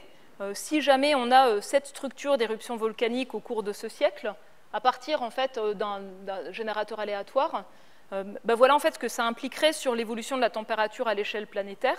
Donc, vous voyez, ces coups de froid temporaires suite à, des éruptions récurrentes dans une trajectoire qui est pilotée par euh, les émissions de gaz à effet de serre. Alors pourquoi je mets l'accent dessus? Euh, J'ai lu par exemple un rapport euh, de projection pour la France qui s'appelle RTE 2050. Qu'est-ce que c'est un système énergétique en France neutre en carbone? Et notamment donc, comment on électrifie beaucoup d'autres usages, et puis la production d'électricité neutre en carbone ou sobre en carbone qui permet de tenir ça. Et dans cette réflexion-là, il y a bien sûr le fait que la demande de refroidissement va augmenter en été quand il fait plus chaud, la demande de chauffage va un petit peu diminuer en hiver parce que les hivers sont plus doux. Donc cette, évolution de la demande, elle est intégrée. Mais si on a euh, une ou deux euh, années euh, particulièrement froides du fait d'une éruption volcanique majeure et, ces particules répandues dans toute l'atmosphère, on peut avoir des, hivers rigoureux, vraiment, un ou deux. Et donc l'intégrer dans des, réflexions sur la résilience d'infrastructures et de systèmes, c'est un point qui est important, en plus bien sûr des tendances dues à l'influence humaine sur le climat. Donc je l'illustre par rapport à ce, point particulier. C'est aussi un enjeu, par exemple, pour la sécurité alimentaire. Donc on a des tendances dues à l'influence humaine sur le climat, on s'y prépare, il y a beaucoup de travaux pour adapter les cultures à des conditions, par exemple, plus chaudes, plus sèches. Si on a pendant une année euh, un événement ponctuel qui vous fait euh, euh, des, événements dans le sens inverse, les cultures seront encore moins adaptées à cela. les risques de perte, par exemple, de rendement peuvent être plus fortes. Et donc en tenir compte hein, pour euh, s'assurer de la capacité à, fournir l'alimentation, la transporter d'un endroit à l'autre. Donc vraiment dans une réflexion de gestion de risque, euh, c'est un point qui est important. Donc ce que j'ai montré, c'est que euh, certains changements peuvent être évités, d'autres peuvent être ralentis et d'autres arrêtés en limitant le réchauffement, d'où la question d'un point de vue géophysique, comment on peut limiter le, le niveau de réchauffement planétaire. Donc j'enchaîne directement sur cette partie-là. Donc le point central, peut-être le point le plus important, euh, qui ressort du fonctionnement physique du climat et du fonctionnement du cycle du carbone, c'est un ensemble de mécanismes qui se contrebalancent et qui conduisent à une relation linéaire, quasi linéaire, entre le cumul des émissions de CO2 dues aux activités humaines et euh, l'évolution de la température à la surface de la Terre. Donc ici, on regarde entre maintenant et 2050, parce qu'au-delà de 2050, c'est plus incertain. Euh, forêt, permafrost, etc. L'incertitude est plus grande sur euh, le fonctionnement euh, et les rétroactions du cycle du carbone. Donc ce graphe, vous montre qu'on peut traduire un objectif en termes de niveau de réchauffement planétaire avec une marge de manœuvre, c'est-à-dire une quantité compatible de rejet de dioxyde de carbone, ce que nous on appelle un budget carbone résiduel. C'est ce qui euh, est d'ailleurs utilisé dans le cadre euh, de la stratégie française euh, pour le climat. La stratégie nationale bas carbone, elle se fixe des budgets carbone à respecter par période de 4-5 ans. Et c'est une manière clé, si l'on veut parvenir à limiter le niveau de réchauffement planétaire, de se fixer des budgets carbone à ne pas dépasser. Donc si on regarde ce qu'on a déjà émis depuis 1750 ici, c'est de 1560 milliards de tonnes de CO2. Et vous pouvez regarder la marge de manœuvre limitée qui nous reste si on veut limiter le réchauffement à un niveau proche d'un degré et demi, donc selon qu'on cherche à le faire avec 50% de chance ou deux chances sur trois, euh, c'est de l'ordre en fait de 4 à 500 milliards de tonnes de CO2. Euh, donc c'est très petit par rapport aux émissions annuelles, 40 milliards de tonnes, et c'est surtout très petit par rapport aux infrastructures fossiles de production d'électricité existantes, donc les centrales thermiques. Hein. Si les centrales thermiques qui existent aujourd'hui dans le monde sont utilisées jusqu'à leur fin de durée prévue, ça émettra plus que ça pour un degré et demi. Donc ça montre en fait l'enjeu et l'inertie qui n'est pas celle du climat pour le niveau de réchauffement à venir, qui est celle des infrastructures existantes et de leur durée de vie d'utilisation. Le budget carbone euh, résiduel pour limiter le réchauffement euh, sous 2 degrés, avec en gros deux chances sur trois d'y parvenir, c'est à peu près 1000 euh, milliards de tonnes de CO2. Les infrastructures de centrales thermiques actuelles et prévues, ensemble, c'est déjà à peu près 880 milliards de tonnes de CO2 à elles seules. Donc vous voyez que cette question de l'inertie des infrastructures, de notre capacité à les décommissionner le plus rapidement possible, et avoir des alternatives pour la production d'électricité bas carbone, c'est central en fait si on veut pouvoir euh, tenir euh, ces budgets carbone euh, compte tenu de, la géophysique du climat. Et l'autre point que je voulais souligner, c'est à court terme, pas pour maîtriser le réchauffement à long terme, hein, c'est vraiment le cumul des émissions de CO2 qui domine, mais à court terme, qu'est-ce qui va peser le plus? Et donc je l'illustre avec la quantification des effets sur la température d'émissions annuelles. Donc on prend l'ensemble des émissions de tous les composés qu'on met dans l'atmosphère chaque année, et on regarde les effets à 10 ans, les effets à 100 ans. Donc si on prend les effets à 10 ans, qu'est-ce qui domine? Donc l'effet refroidissant des particules de pollution qui ne restent pas longtemps dans l'atmosphère, hein, qui redescendent rapidement, et puis l'effet réchauffant euh, du CO2 qui joue à court terme et à long terme, et enfin l'effet euh, réchauffant du méthane qui a un gaz à effet de serre puissant, mais qui a une durée de vie d'une dizaine d'années euh, dans l'atmosphère. Si on regarde à 100 ans, ce qui domine, c'est le CO2. Donc, si on veut limiter le niveau de réchauffement planétaire à long terme, réduire le plus vite possible les émissions de CO2 et les faire atteindre zéro, c'est ça qui sera critique. Si on veut limiter le pic de réchauffement dans la décennie qui vient, là, en fait, ce qui est critique, c'est réduire les émissions de méthane, en plus. Euh, et c'est pour ça d'ailleurs hein, qu'à la COP26, il y a une coalition euh, d'acteurs qui sont engagés à faire leur possible pour réduire d'à peu près un tiers les émissions de méthane dans la décennie qui vient. Et vous voyez que c'est essentiellement lié euh, à deux secteurs, trois secteurs, les émissions de méthane, production et distribution d'énergie fossile, activité agricole et notamment élevage de ruminants, et puis gestion des déchets. Et donc là, arriver rapidement à déployer un ensemble de solutions, donc suivi, efficacité, amélioration des, processus, ça va être critique sur ce volet méthane. Et le méthane est particulièrement important donc, pour contrebalancer euh, l'effet euh, euh, refroidissant des particules de pollution qu'on perd aussi quand on décarbone, parce qu'elles sont émises aussi lorsqu'on brûle des énergies fossiles. Donc, limiter le réchauffement, ça demande de limiter le cumul des émissions de CO2, atteindre au moins net zéro CO2 et réduire fortement les émissions des autres gaz à effet de serre. Et réduire fortement les émissions de méthane, ça limiterait la perte de l'effet masque des particules de pollution. Et puis bingo, on y gagnerait aussi pour la qualité de l'air, puisque plus on met du méthane dans l'atmosphère, plus ça conduit à la formation d'ozone en surface, qui est un polluant euh, et toxique pour nous et la santé, euh, la croissance des plantes également. Je ne vais pas vous montrer les solutions qui existent, ce n'était pas ce qu'on m'a demandé dans cette présentation.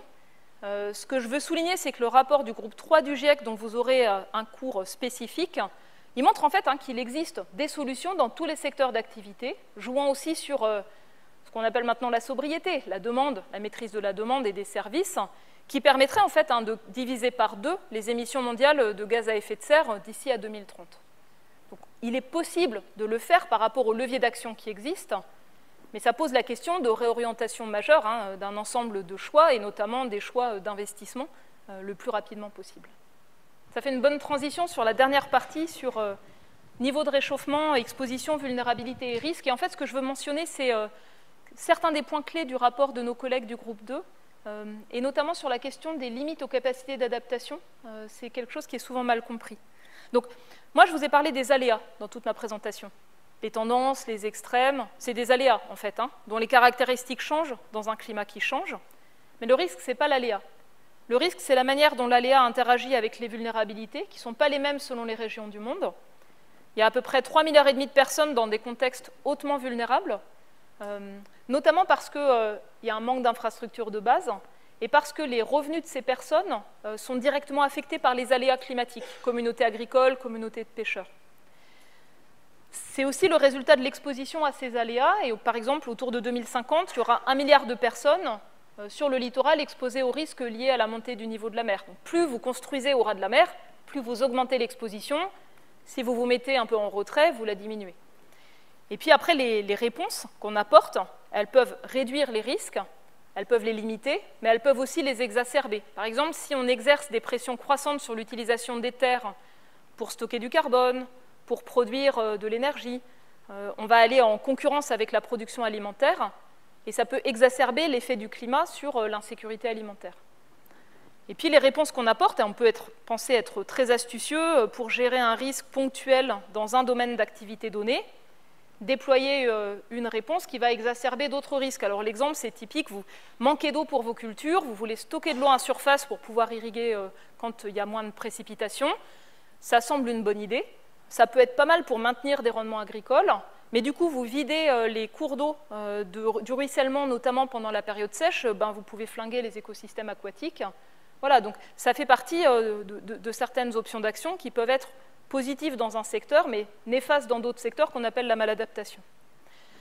Donc juste pour euh, rappeler la gravité de la situation. Donc aujourd'hui, en fait, sur les écosystèmes, il y a la moitié des espèces étudiées qui se déplacent. Il y a une dégradation qui est observée pour la structure des écosystèmes, pour la répartition des espèces, pour les rythmes, en fait, hein, euh, la phénologie euh, des différentes espèces. Et je l'illustre avec une photo de dépérissement de forêt et une photo de blanchiment de récifs de coraux tropicaux. Donc un exemple marin, un exemple terrestre, où plus on a des extrêmes chauds fréquents euh, ou secs sur le continent, plus euh, ces dégradations euh, sont exacerbées. Là, on peut agir. On peut agir en, utilisant de manière plus soutenable ces ressources naturelles, en freinant la destruction des habitats, en limitant l'artificialisation des terres, en ayant des espaces pour les déplacements d'espèces, et en accompagnant les plus fragiles, parce qu'en fait, les inégalités, elles tendent à augmenter l'utilisation des ressources naturelles et euh, exercer des pressions euh, supplémentaires. Du côté des activités humaines, il y a des impacts généralisés, donc euh, du fait de la pénurie d'eau et par des chocs de production alimentaire. En termes de santé et de bien-être, les effets directs, par exemple, de la chaleur sur la, la morbidité et la mortalité, euh, la santé mentale des personnes qui sont déplacées, 40 000 personnes avec les incendies de forêt cet été en France, ce n'est pas de l'éco-anxiété, hein. c'est euh, le traumatisme lié au déplacement euh, qui peut persister pendant très longtemps. Et puis, donc, l'augmentation des dommages associés aux inondations pour les infrastructures urbaines. Beaucoup de réseaux d'assainissement ne sont pas du tout adaptés pour des cumuls importants de pluie en quelques heures dans toutes les régions du monde. et des dommages sur certains secteurs économiques clés. En Afrique, par exemple, les conséquences du changement climatique aujourd'hui ont déjà en fait diminué la croissance économique par rapport à ce qu'elle aurait pu être sans les conséquences d'un climat qui se réchauffe. Et euh, si vous prenez par exemple les pénuries d'eau euh, en Chine, sur le Pô ou sur le Rhin, euh, l'effet sur l'activité industrielle, le transport de marchandises clés affecte l'activité économique sur des régions industriellement importantes de manière croissante. Donc on est devant des risques aussi de plus en plus complexes et difficiles à gérer. Et l'exemple qui a été euh, souligné par le rapport du groupe 2 du GIEC, pour moi, il illustre aussi euh, ce qui a été vécu euh, ce printemps du côté de l'Inde et du Pakistan. Vagues de chaleur et sécheresse très prononcées, avec des températures très élevées, qui font qu'en fait, les travailleurs agricoles ne peuvent pas travailler. Donc, baisse de productivité, baisse de revenus. Chaleur et stress hydrique affectent les rendements agricoles, qui diminuent, ça entraîne aussi une hausse du prix de l'alimentation. Donc il y a deux facteurs qui se conjuguent pour les mêmes personnes, une alimentation plus chère et des revenus qui diminuent. Et donc ça, c'est euh, vraiment euh, des enjeux de piège de pauvreté très difficiles à gérer, de plus en plus difficiles à gérer, euh, et une des conséquences, en fait, d'un climat qui se réchauffe quand on n'a pas, quand on n'est pas préparé, qu'on n'a pas de filet de, protection sociale, de mutualisation de risques. Et puis, euh, les effets peuvent être potentiellement mondiaux. Je donne l'exemple encore une fois du Pakistan. Un tiers de sa surface inondée, ça va affecter la production de coton, ça va affecter la production euh, de céréales. vu son poids dans certains secteurs, il y aura des répercussions sur les marchés mondiaux. Hein. Pas ça ne reste pas seulement local. Donc quand on évalue les risques, le résultat exposition, vulnérabilité, adaptation et aléa, on peut représenter de manière un peu schématique, c'est ce qui est fait là, le niveau de gravité de risque en fonction du niveau de réchauffement planétaire. Et on voit qu'en fait, euh, notamment en Europe, on a une adaptation qui progresse, mais elle est insuffisante pour contenir l'augmentation des risques. Et les risques clés qui ont été identifiés, c'est les extrêmes chauds, euh, les effets de, de, perte de production agricole, les effets de la pénurie d'eau, et un ensemble de risques d'inondation, alors immédiats sur les plus extrêmes, et puis qui vont se décliner à long terme du fait de la montée euh, du niveau de la mer. Dans le monde, en fait, euh, les risques liés au changement climatique, c'est soit direct, comme je l'illustrais là, soit indirect via l'état des écosystèmes et leur dégradation. Donc si on prend les écosystèmes terrestres, vous voyez qu'en fait les risques de perte de biodiversité augmentent fortement en fonction du niveau de réchauffement planétaire et de la vitesse des changements. On estime que le risque de perte d'espèces est multiplié par 10 entre un monde 1,5 degré plus chaud et un monde 3 degrés plus chaud. C'est à peu près l'ordre de grandeur. Des effets sur la structure, bien sûr, des écosystèmes, des effets sur, par exemple, la mortalité d'arbres. On en parlait tout à l'heure, des effets sur le risque d'incendie de, forêt et euh, de perte de carbone. Et vous voyez que euh, nos collègues du groupe 2 considèrent que le risque passe euh, de modéré à élevé entre 1,5 degré et 2 degrés donc plutôt euh, quand on regarde les processus de dégradation d'écosystèmes que purement la partie euh, physique du climat. Et puis du côté des écosystèmes marins, je crois que c'est François, toi, qui parlais de, cet aspect-là. Euh, donc un, des écosystèmes le plus exposé, c'est les, coraux d'eau chaude. donc plus les vagues de chaleur marine sont fréquentes, plus ils blanchissent. Et en fait, il y a une perte de diversité des espèces de coraux. Ça va filtrer ceux qui résistent à la chaleur. Et donc souvent, il y a moins de diversité biologique, il y a plus d'algues. Donc en fait, on perd les récifs tels qu'ils étaient précédemment et euh, leur fonction d'amortir euh, la houle, les tempêtes, euh, ou leur service, par exemple, pour la, production alimentaire ou l'attractivité touristique. Mais c'est tous les écosystèmes marins sont concernés. Par exemple, en Bretagne Nord, on a des belles forêts de laminaires. En fait, c'est des, grandes algues brunes, je ne sais pas si vous voyez, qui sont importantes pour la reproduction de pas mal d'espèces. Bah, il y a un seuil en fait de croissance avec des températures euh, en dessous, au-dessus de 18 degrés, par exemple. Euh, donc c'est des choses qui sont importantes et euh, qui vont conduire à des dégradations de, ces ensembles d'écosystèmes en surface, avec déjà en fait une baisse du potentiel de prise de pêche dans les régions tropicales. donc des enjeux de sécurité alimentaire, nutritionnelle hein, pour ceux qui dépendent des produits de la mer, euh, pour les nutriments euh, et les protéines tout particulièrement. Donc l'enjeu de ce point de vue-là, euh, sur lequel je veux mettre l'accent, c'est bien sûr protéger, conserver, restaurer ces écosystèmes, enlever les autres facteurs de stress. Et puis quand on construit l'action pour le climat, cet enjeu à s'appuyer sur les écosystèmes, ce qu'on appelle un peu de manière simplifiée les solutions fondées sur la nature, c'est quelque chose qui monte en puissance, qui demande des compétences à l'interface climat-biodiversité pour le faire euh, bien, pour le faire de manière intelligente. Il y a des exemples ici hein, qui ont été faits euh, de restauration de zones humides pour euh, écréter des risques d'inondation sur le réseau hydrologique qui sont intéressants à aller observer, par exemple, pour voir ce qui peut être fait concrètement en zone urbaine relativement dense, par exemple. Mais quand on regarde à l'échelle mondiale, les, enjeux de l'adaptation, c'est la gestion intégrée du littoral, c'est s'appuyer sur les forêts, c'est des pêcheries durables, c'est les trames pour la biodiversité, euh, être efficace dans l'utilisation de l'eau, c'est améliorer euh, les pratiques d'élevage, c'est des infrastructures vertes dans les villes pour limiter les effets d'îlots de chaleur, mieux gérer les terres, l'eau urbaine, c'est la résilience des systèmes énergétiques, hein, j'en ai dit un mot tout à l'heure, c'est s'assurer que nos systèmes de santé fonctionnent en fait. Hein. lorsqu'on a un événement extrême, lorsqu'on a des maladies infectieuses nouvelles qui apparaissent, c'est euh, diversifier les moyens de subsistance, notamment pour euh, les, agriculteurs, par exemple. Euh, c'est accompagner les déplacements de personnes. Hein. Une stratégie d'adaptation, c'est se déplacer, notamment quand on a ces événements extrêmes. Et puis, c'est tous les filets de protection sociale et les systèmes d'alerte, les services climatiques qui font partie de leviers d'action en termes d'adaptation. Mais malgré tout ce qui existe, il y a une masse de connaissances qui existe sur tout ce qui peut être mobilisé. Il y a un décalage croissant hein, qui augmente entre euh, l'adaptation qui est réellement mise en œuvre et puis euh, euh, les besoins qui sont là. Et peut-être que si vous, si vous êtes amené à travailler sur cette question-là, il y a un point qui manque. Comment mesurer l'efficacité d'une stratégie d'adaptation? Comment s'assurer que ça fonctionnera dans un climat qui continuera à changer?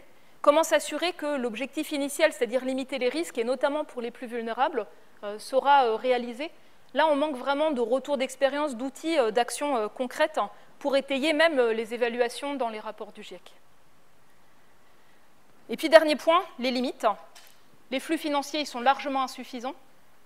Dans les promesses d'aide des pays du Nord aux pays du Sud, les montants ne sont pas là, et les pays du Sud, eux, voudraient que davantage aillent vers l'adaptation, euh, sachant qu'aujourd'hui, beaucoup des montants d'aide via le Fonds vert pour le climat portent sur l'accès à des technologies propres pour l'énergie, davantage que euh, sur euh, l'aide à l'adaptation, qui est aussi critique en fait hein, pour ceux qui sont directement exposés. Autour d'un degré et demi de réchauffement, il y a des limites dures, notamment sur ce qu'on peut faire pour limiter les risques d'érosion du littoral en restaurant les écosystèmes côtiers.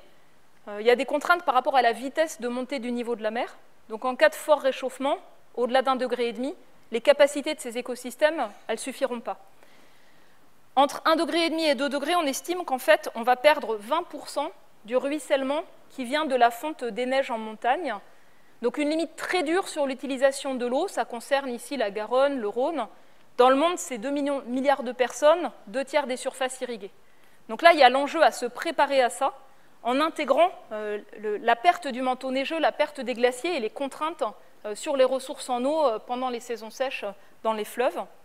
Et au-delà de 2 degrés, des difficultés pour beaucoup de cultures vivrières dans de nombreuses régions.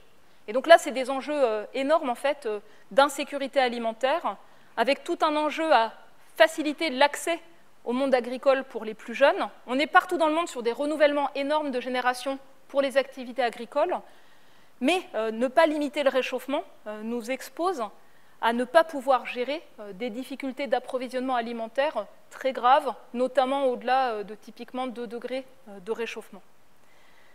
Je termine avec ça. Regardez les yeux des enfants. Regardez-les bien.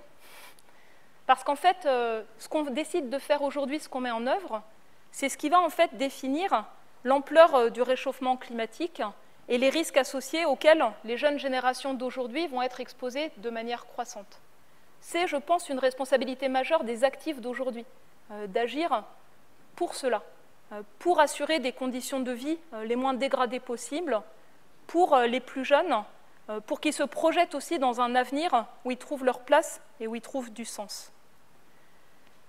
Les enjeux, c'est une forte baisse des émissions de gaz à effet de serre. On en est là sur les politiques en place, la courbe rouge.